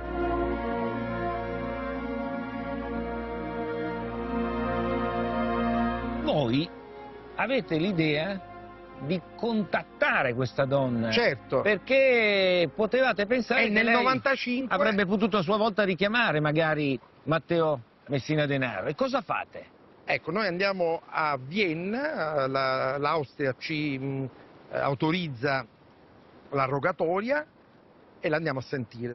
Facciamo anche una perquisizione, eh, fummo abbastanza rigorosi nel pretendere delle risposte, quindi duri, Duri? duri, duri. E lei che reazione aveva avuto? Lei fu molto algida, eh, era impregnata di una cultura mafiosa, molto omertosa, negò, cercammo E- di ricostruire il passato e lei ci disse che era stata fidanzata di Messiano Matteo, ci confermò chi erano i suoi amici che già conoscevamo, eh, Geraci, Clemente, Ciaccio, eh, che l'aveva conosciuto eh, al Paradise Beach. Ma sapeva che era un uomo di mafia oppure No, per lei... assolutamente no, assolutamente no. No? Eh, Lei disse che non sapeva assolutamente nulla e negò tante circostanze. E invece scoprimmo che lei era arrivata eh, prima delle stragi del 93 ed era andata via nell'agosto del 93 partendo- ripartendo da eh, Catania e lei era stata con i Graviano in Toscana, a Milano. Anche a Venezia pare abbia accompagnato, cioè E certo che era la donna ufficiale. Era la donna eh, ufficiale. eh, quindi lei nega, Lei nega tutto, lei nega tutto. eccetera, però Eh, Noi sulla scorta di una precedente esperienza, dopo l'omicidio di Gonzales, la Barbera andò a interrogarla in Austria, ovviamente negò tutto, al ritorno ehm, si seppe che Messiano Matteo era stato incommissariato a lamentarsi ancora una volta di queste iniziative della polizia che addirittura andava in Austria a sentire la, uh, la Andrea. Ovviamente noi attrezzammo un'azione investigativa nel 95. Quindi voi mettete magari sotto controllo quel telefono di lei? Predisponiamo delle attività tecniche. Eh, che cosa succede? Noi sentiamo l'Andrea, torniamo e per un anno non sappiamo nulla. L'anno successivo, nel 96, si pente uno dei maggiori collaboratori di giustizia diventato tale eh, del trapanese, eh, Vincenzo Sinacosi. Cosa le dice Sinacosi? Sinagori, con quel suo modo sornione di porre le questioni, mi ha detto, sa, lei ha fatto arrabbiare molto Messiano Matteo. Insomma, un'arrabbiatura di un capomafia della portata di Messiano Matteo significa altre cose. Perché gli ho detto? Eh, perché avete trattato male, malissimo la sua donna. E ho detto, come faceva a saperlo? Eh, beh, perché dopo che siete andati via, lei lo contattò da un'utenza dello zio Insomma, lei chiamò dal telefono giusto e noi avevamo trovato un'utenza sbagliata.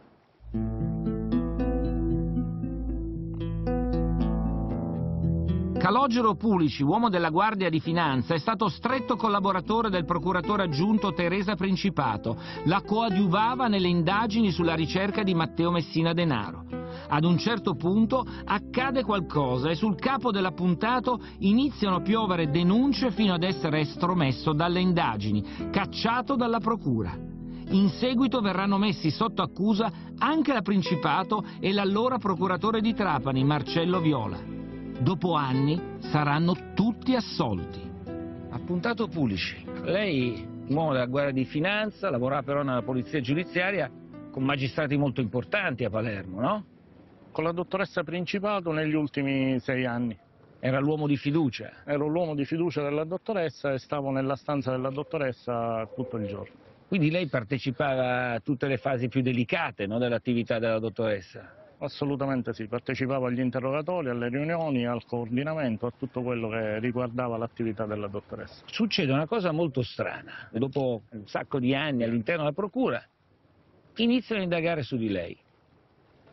Nel luglio del 2015 vengo querelato da un mio collega per molestie telefoniche alla moglie e vengo allontanato a detta della dottoressa Principato con una lettera durissima dal procuratore dell'epoca e vengo trasferito nella, nel giro di un mese sei o sette volte perché nessuno voleva avere a che fare con me. Ho subito tra processi e indagini circa 7-8 procedimenti penali. E hanno sequestrato tutto anche? Mi hanno sequestrato tutto durante una perquisizione e mi è stato restituito il tutto previa formattazione di tutti gli apparati. Lei si sarà chiesto però che cos'è che ha scatenato questo odissea su di lei? Questa è una domanda a cui io non so dare ancora oggi una risposta. In quel periodo la dottoressa di che cosa si occupava? In particolar modo della latitanza di Matteo Messina Denaro. Quindi ci può essere secondo lei? Una delle cause, se non la causa principale, potrebbe essere stata anche quella. Lei è stato indagato anche insieme a magistrati molto importanti. Sono stato indagato insieme al dottore Viola che all'epoca era procuratore di Trapani, procuratore capo a Trapani e sono stato indagato insieme alla dottoressa Principale. Ma per che cosa, scusi? Per, eh, con il dottore Viola per avere passato al dottore Viola una pendrive con dei verbali di un collaboratore, verbali a cui era presente anche il dottore Viola al momento della redazione degli stessi verbali, e con la dottoressa per accesso abusivo al terminale, quindi al sistema informatico della Procura. Tutti questi processi sono caduti nel nulla? Tutti questi processi, alcuni in fase di indagini preliminari come le molestie da cui è partito tutto e gli altri in fase dibattimentali, uno in appello e uno in primo grado. Erano usciti degli articoli proprio qui in Sicilia eh, che raccontano la storia molto strana eh, la Principato credo avesse avuto a che fare con un pentito, un personaggio un po' anche ambiguo, tale eh, Tuzzolino.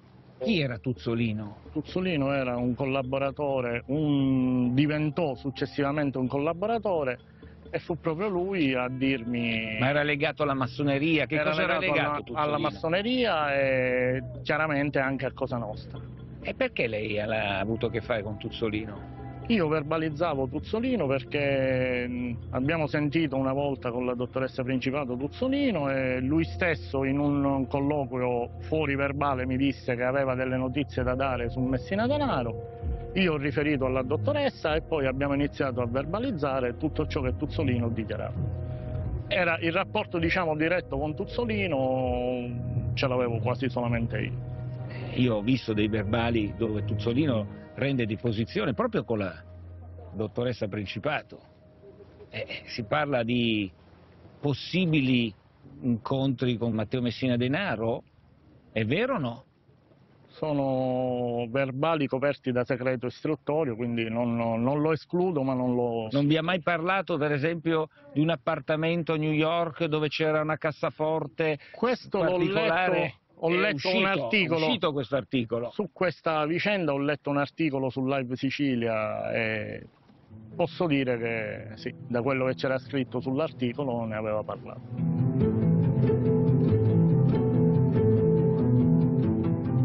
In quella cassaforte sembra che ci fossero le fotografie che ritraevano Tuzzolino con Matteo Messina Denaro. Questo non eh, è coperto da segreto, quindi non... eh, Quindi i giornalisti se se l'è inventato lì.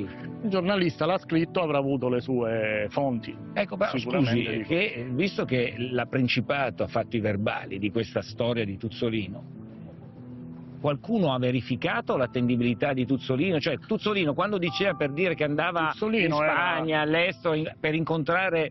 eh, per incontrare proprio Matteo Messina Denaro, l'avete verificato se era attendibile su questo o no, per esempio? Sì, molte cose sono state verificate. Era attendibile su questo? Su quello era attendibile. E New York? New York eh, era attendibile perché c'era realmente stato, la Guardia di Finanza aveva accertato che c'erano dei voli e che lui si recava per- periodicamente a New York.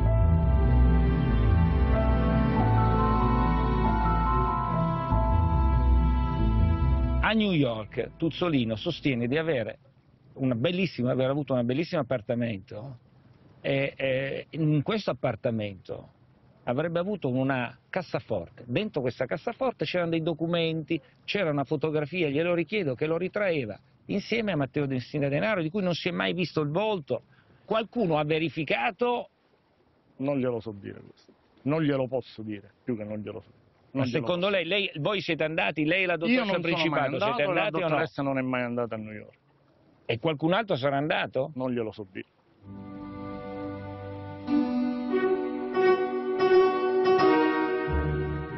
Lei mi diceva prima, io vivevo praticamente H24 con la dottoressa Assolutamente. ma uscivate, mangiavate anche insieme. Ma è vero questa storia che lei non era molto pratica de- di computer, eccetera? Diciamo che della parte informatica me ne occupavo interamente io. Questo, scusi, vuol dire che verbalizzava Verbalizzavo i collaboratori, sì, avevo un computer mio personale in cui- su cui venivano, venivano effettuati anche gli interrogatori e c'era il backup, quindi la copia proprio fisica del mio computer dell'ufficio e del computer dell'ufficio della dottoressa. A lei a un certo punto hanno sequestrato il computer. A me hanno sequestrato tanti computer. Ma là dentro cosa c'era? C'era di tutto? C'era di tutto. Anche C'erano- le storie di Matteo Messina Denaro? Soprattutto le storie di Matteo Messina Denaro. E perché gliel'hanno sequestrato? Me l'hanno sequestrato perché, perché sono stato indagato per rivelazione di segreto d'ufficio e probabilmente la procura riteneva che una volta che io si- fossi stato allontanato dall'ufficio non avevo più titolo per tenere i verbali. Scusi, una volta che lei è stato assolto e uscito da sua vicenda, il computer gliel'hanno restituito? I documenti, l'hard disk era dentro, hanno- gliel'hanno I restituito? computer me li hanno restituiti tutti formattati, quindi privi del contenuto. C'è sparito tutto? Sparito tutto. Il latitante Matteo Messina Denaro è il collante tra mafia, massoneria e servizi segreti? E che cosa è emerso dal processo per le stragi del 92 che gli è costato un altro ergastolo?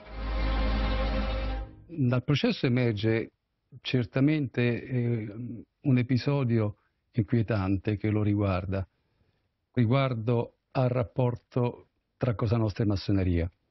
Cosa Nostra ha sempre utilizzato, soprattutto per quanto riguarda la, la, il tentativo di aggiustare i processi. Proprio nel, nel, processo contro Matteo Messina Denaro emerge questo aspetto che riguarda l'aggiustamento del processo per l'omicidio del capitano Basile. È un vecchio omicidio che, eh, in relazione al quale si scopre che un notaio di Castelvetrano si reca dal presidente della Corte d'Assise d'Appello, lo avvicina e col chiaro intento di intimidirlo. Questo tentativo va a vuoto perché il magistrato naturalmente denuncia e blocca immediatamente questo progetto di intimidazione.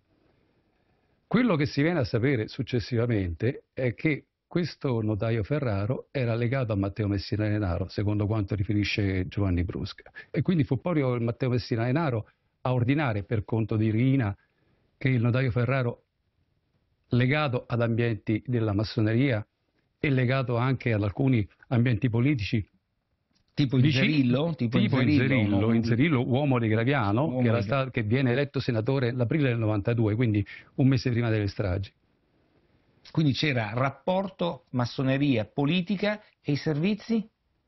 Eh, sui servizi c'è una storia che parte dalla vicenda di una, da una vecchia vicenda che riguarda l'omicidio di un, di un, capo, di un capomafia alcamese che si chiama Milazzo, si chiamava Milazzo, che viene ucciso nel 92, pochi giorni prima della strage di Via D'Amelio, in quella che si ritiene, quando si celebra il processo a carico dei suoi assassini, come un regolamento di conti interno a Cosa Nostra. E invece cosa nascondeva? Tempo dopo, successivamente, inizia a collaborare l'uomo di fiducia di Vincenzo Milazzo, colui che lo accompagnava, colui che aveva, insomma, era a conoscenza di tutti i suoi segreti. E questi racconta che Vincenzo Milazzo era stato avvicinato tempo prima, già all'inizio del 92, da una serie di personaggi che si accreditano, che si presentano come appartenenti a strutture, a strutture del, istituzionali e fanno capo ai servizi di sicurezza, evidentemente non tanto istituzionali ma piuttosto deviati. In questo caso sollecitano eh, Vincenzo Milazzo, che è un, un importantissimo uomo d'onore, eh, legatissimo a Rina, legatissimo a Bernardo Brusca, quindi un pezzo, un, un pezzo da 90. Lo sollecitano a cosa? Lo sollecitano a compiere atti terroristici, cioè a compiere atti che diffondano il panico nella popolazione addirittura evocano la possibilità di ricorrere alla guerra batteriologica. Che risposta Milazzo, diede Milazzo? Perché alla fine Milazzo come, paga Milazzo, pa Milazzo bolla questa, questa, questo avvicinamento, questi soggetti e questo progetto come follia, come pura follia, perché dice Cosa Nostra non potrà mai fare queste cose. Perché Cosa Nostra sarebbe la morte per Cosa Nostra se si imbarcasse in una operazione del genere. E improvvisamente lui, che è sempre stato nel cuore di Rina, muore dopo qualche tempo, improvvisamente, per delle ragioni che appaiono banali, sinceramente. L'hanno eliminato? Rina non, non intende naturalmente eh, diffondere la vera ragione della morte di Milazzo. La vicenda che riguarda la morte di Milazzo si colora di un ulteriore episodio che la rende ulteriormente diciamo, inquietante. Perché? Perché la fidanzata di Vincenzo Milazzo viene uccisa il giorno dopo. Questa donna si scopre essere innanzitutto nipote di un appartenente ai servizi di sicurezza. Secondo un altro collaboratore alcamese, proprio Milazzo a un certo punto, mentre sono detenuti, fa riferimento alla fidanzata, Antonella Bonomo, dicendo che adesso, attraverso i, buoni uffici, i suoi buoni uffici, personaggi dei servizi potrebbero aiutarli a uscire da quella storia. La storia era l'imputazione per la strage di Pizzolungo, dalla quale poi vennero tutti assolti.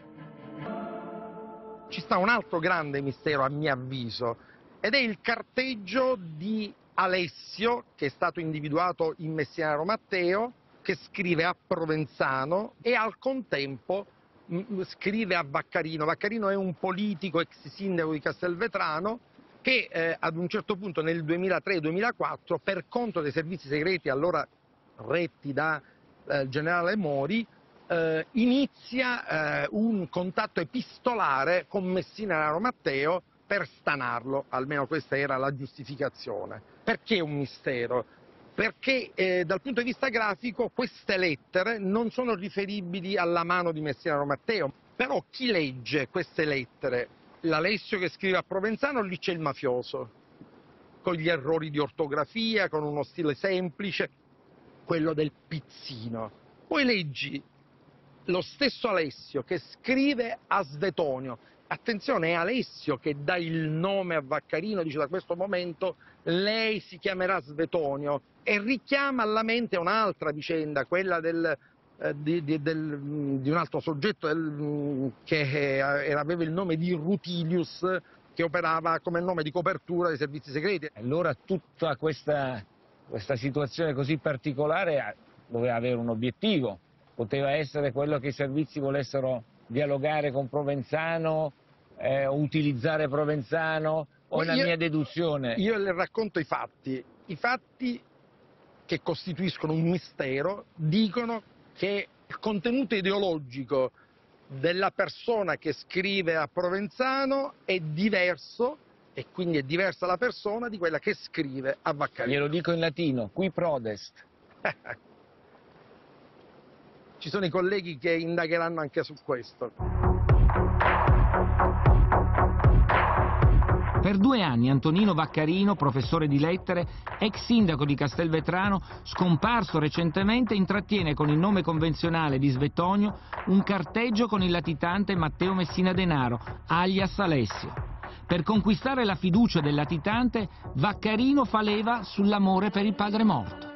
Il tuo eccezionale genitore ritengo abbia fatto della sua vita l'esaltazione dell'equilibrio fino a che il 15 novembre del 2007 Matteo Messina Denaro scopre la trappola in cui era caduto e gli invia una lettera spietata. Solo dopo accertamenti processuali il generale Mori rivela che Vaccarino collaborava con il SISDE. Dunque, chi scriveva le risposte per conto di Matteo Messina Denaro, alias Alessio? Ad oggi resta un mistero.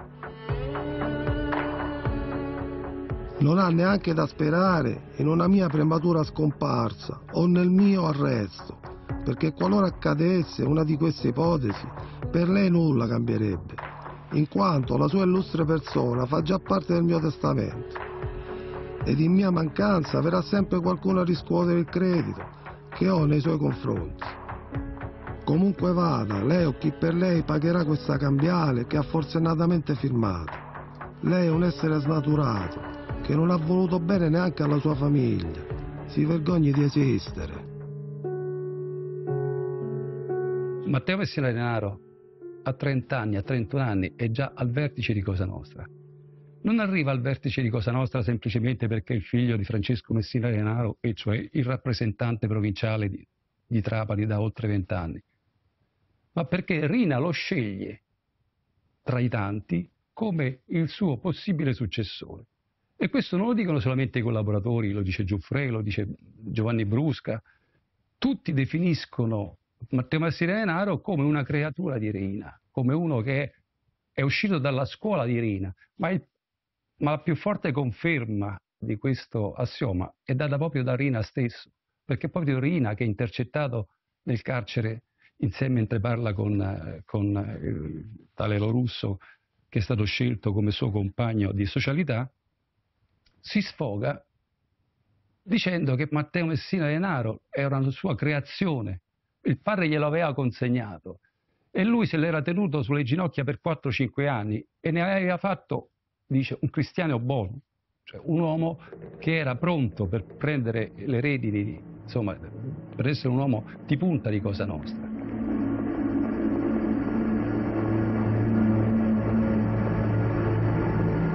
Persona responsabile ce l'ho e sarebbe Messina Denaro. Però che cosa fa però questo Messina Denaro che io non so più niente?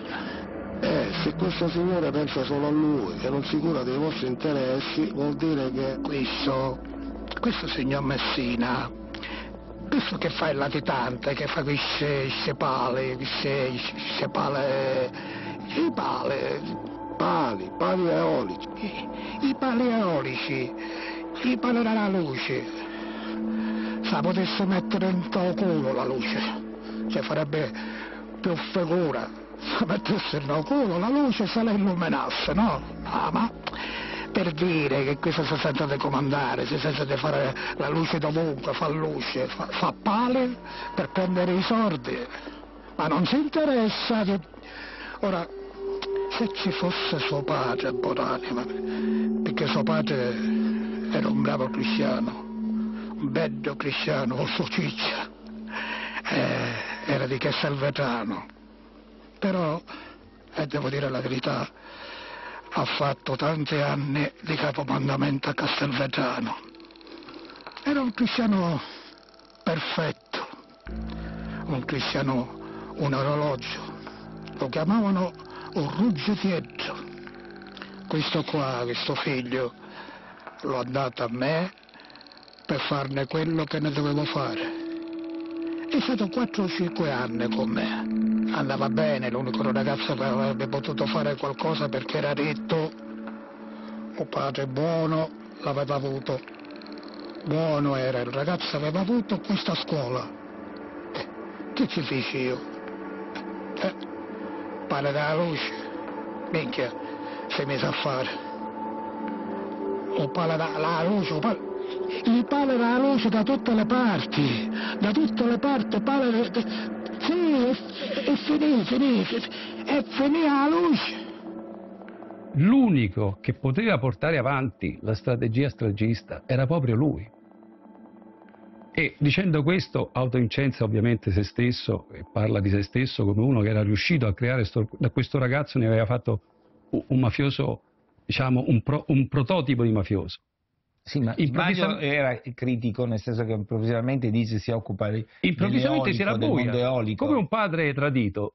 Improvvisamente, dopo, averlo, dopo aver celebrato se stesso ed esaltato la figura di Matteo Messina Denaro, dicendo che era il suo figlio preferito, colui che insomma lui aveva lanciato, che aveva fatto la sua scuola, quindi era perfetto perché era, era uscito dalla sua scuola. Improvvisamente quasi ritorna sui suoi passi e comincia a dire e adesso invece si è messo a fare i pali della luce. Nel senso di dire, adesso anziché pensare a fare le stragi come io gli ho insegnato, si è messo a fare gli affari. Per pali della luce lui intende gli interessi di Matteo Messina Denaro nel settore dell'eolico, ed è un po' la metafora, se vogliamo, di quello del Rina pensiero su quello che era insomma, il, la politica di Provenzano, l'inabissamento di Cosa Nostra.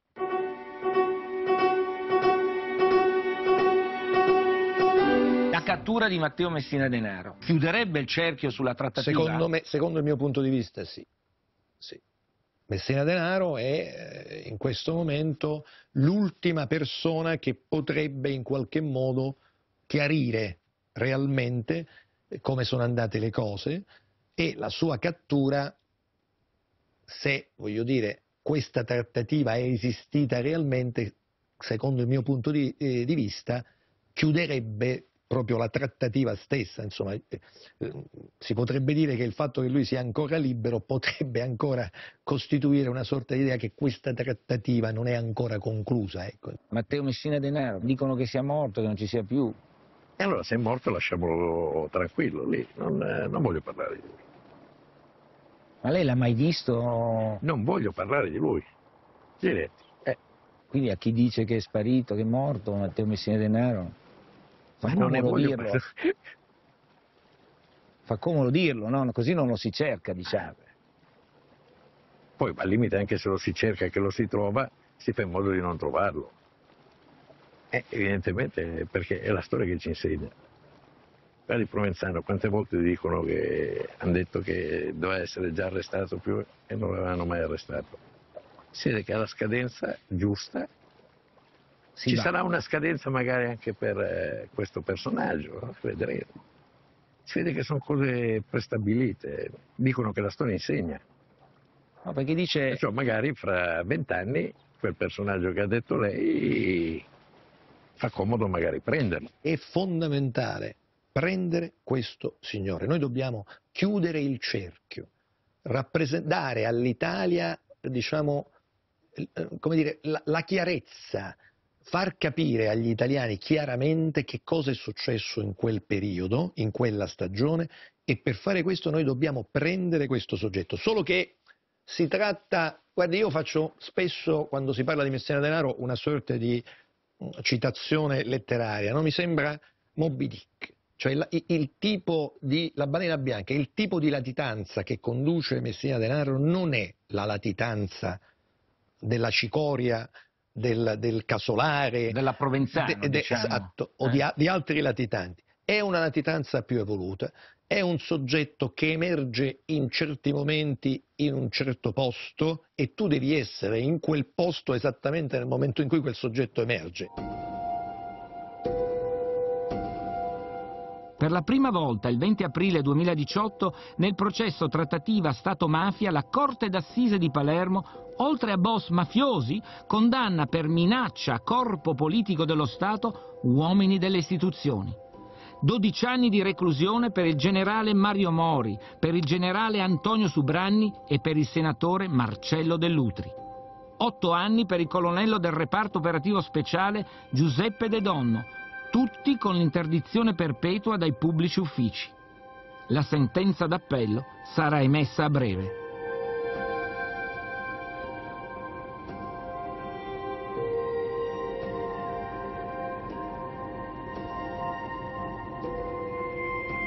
Perché, al di là delle singole posizioni degli imputati, è stata importante la sentenza della trattativa?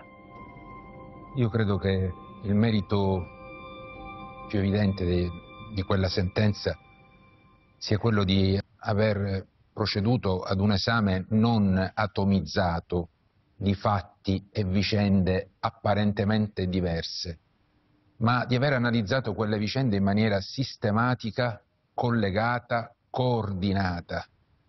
E soltanto attraverso questo metodo si è riusciti, a mio avviso, a dare il significato giusto a tanti fatti apparentemente slegati, la mancata perquisizione del covo, la vicenda Ilardo, la mancata cattura di Provenzano, i colloqui del ROS dei carabinieri con Vito Ciancimino, ma tutti uniti da un unico filo conduttore.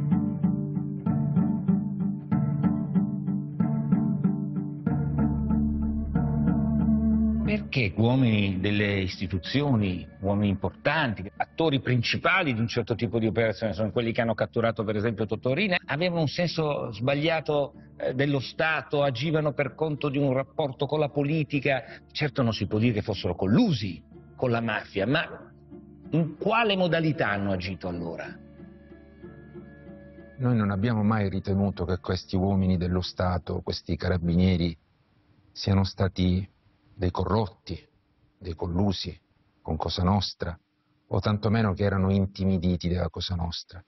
Abbiamo ritenuto che hanno agito senza nessun rispetto delle regole, soprattutto senza nessun rispetto delle regole di rapporto con l'autorità giudiziaria, per una malintesa e non dichiarata ragion di Stato. Vede, la ragion di Stato è tale quando organismi politici, per motivi di sicurezza dello Stato, con una procedura trasparente, la dichiarino e dichiarino che in un determinato contesto storico alcuni comportamenti che costituiscono reato vengono scriminati. Quella è la ragione di Stato. Ma al di fuori di una procedura di assunzione di responsabilità politica chiara, precisa, trasparente, comportamenti di questo genere, trattative di questo genere, sono assolutamente illecite e pericolose. Quelli erano anni, sembrava stata una vita, ma la situazione era drammatica.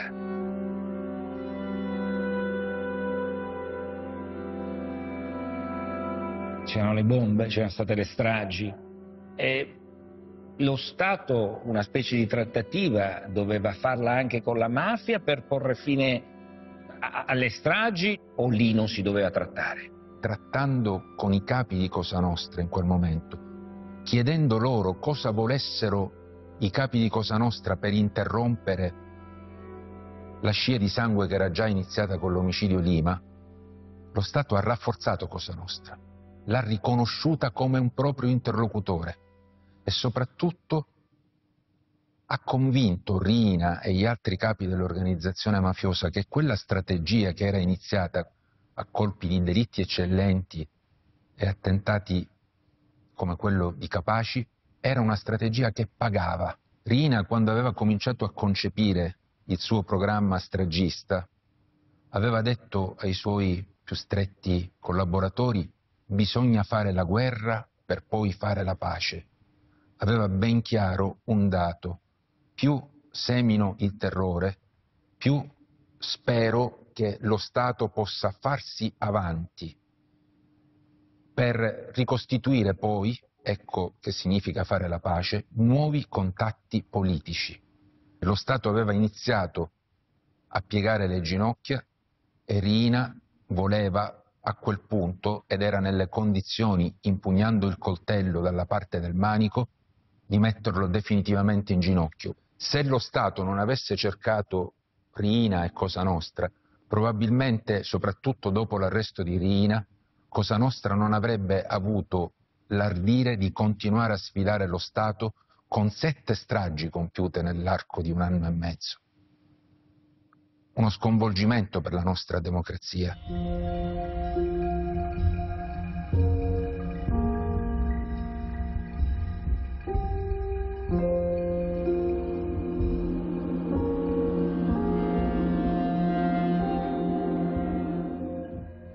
Pensare che oggi noi possiamo in qualche modo dimenticare o lasciare alle spalle definitivamente quei fatti come se appartenessero a un passato che non ci può interessare più è veramente un comportamento non accettabile nei confronti del nostro Paese.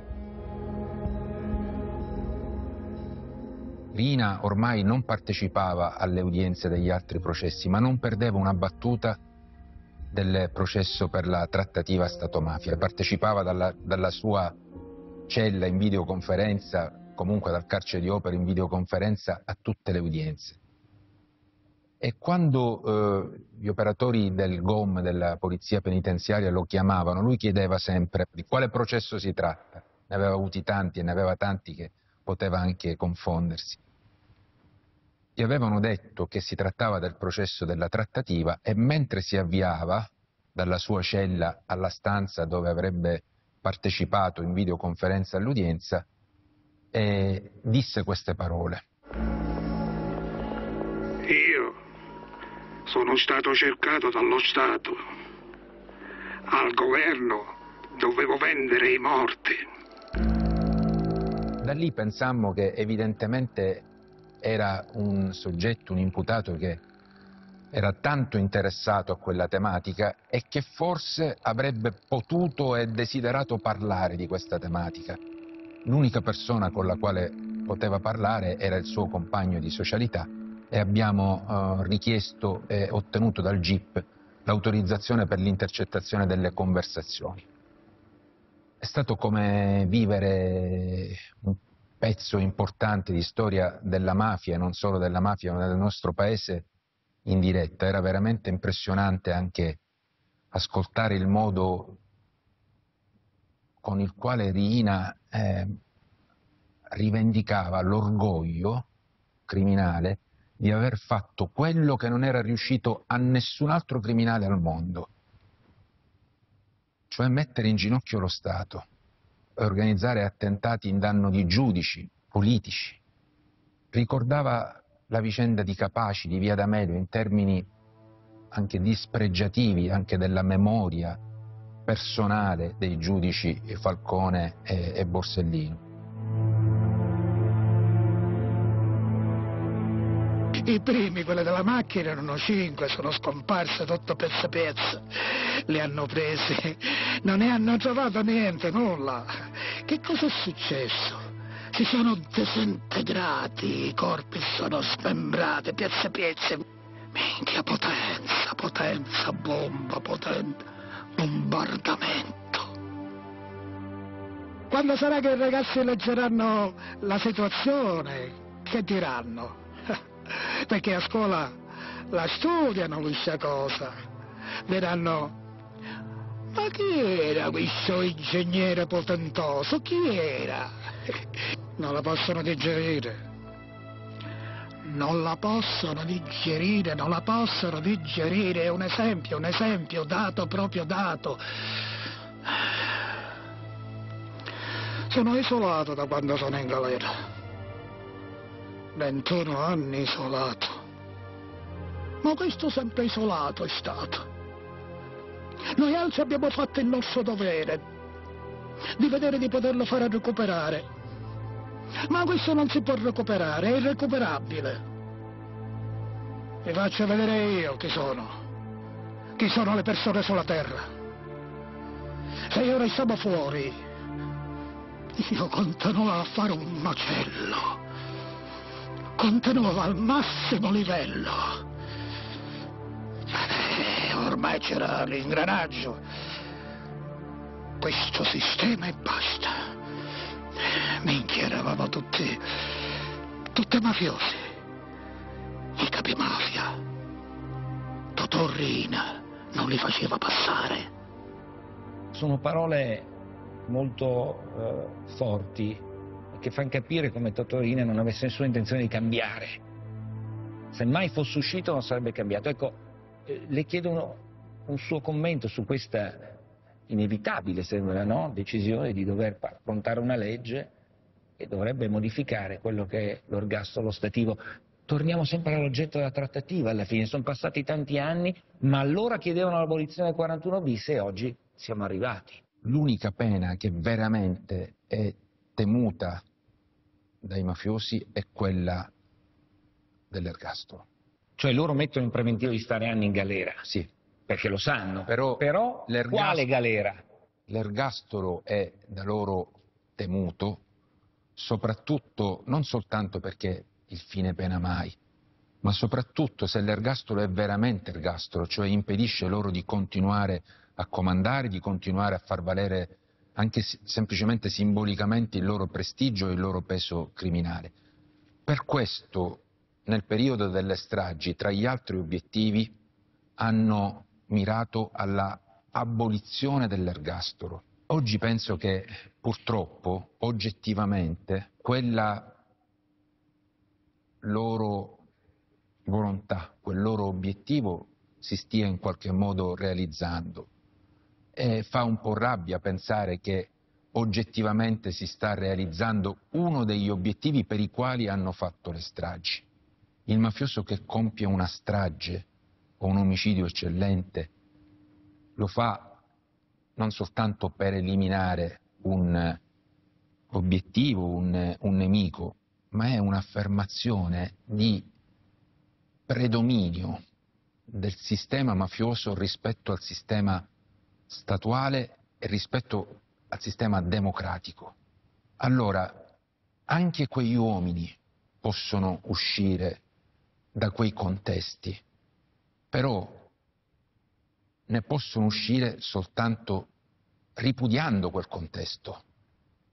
Ma il ripudio non può essere soltanto formale, il ripudio deve essere dimostrato attraverso una collaborazione con la giustizia. Se un mafioso, anche il peggiore degli stragisti, dimostra attraverso una collaborazione che sia seria, attendibile, riscontrata, di voler rinnegare quel passato, possiamo dire che è uscito da quel sistema criminale, altrimenti continua a farne parte e ne farà parte fino all'ultimo giorno della sua vita.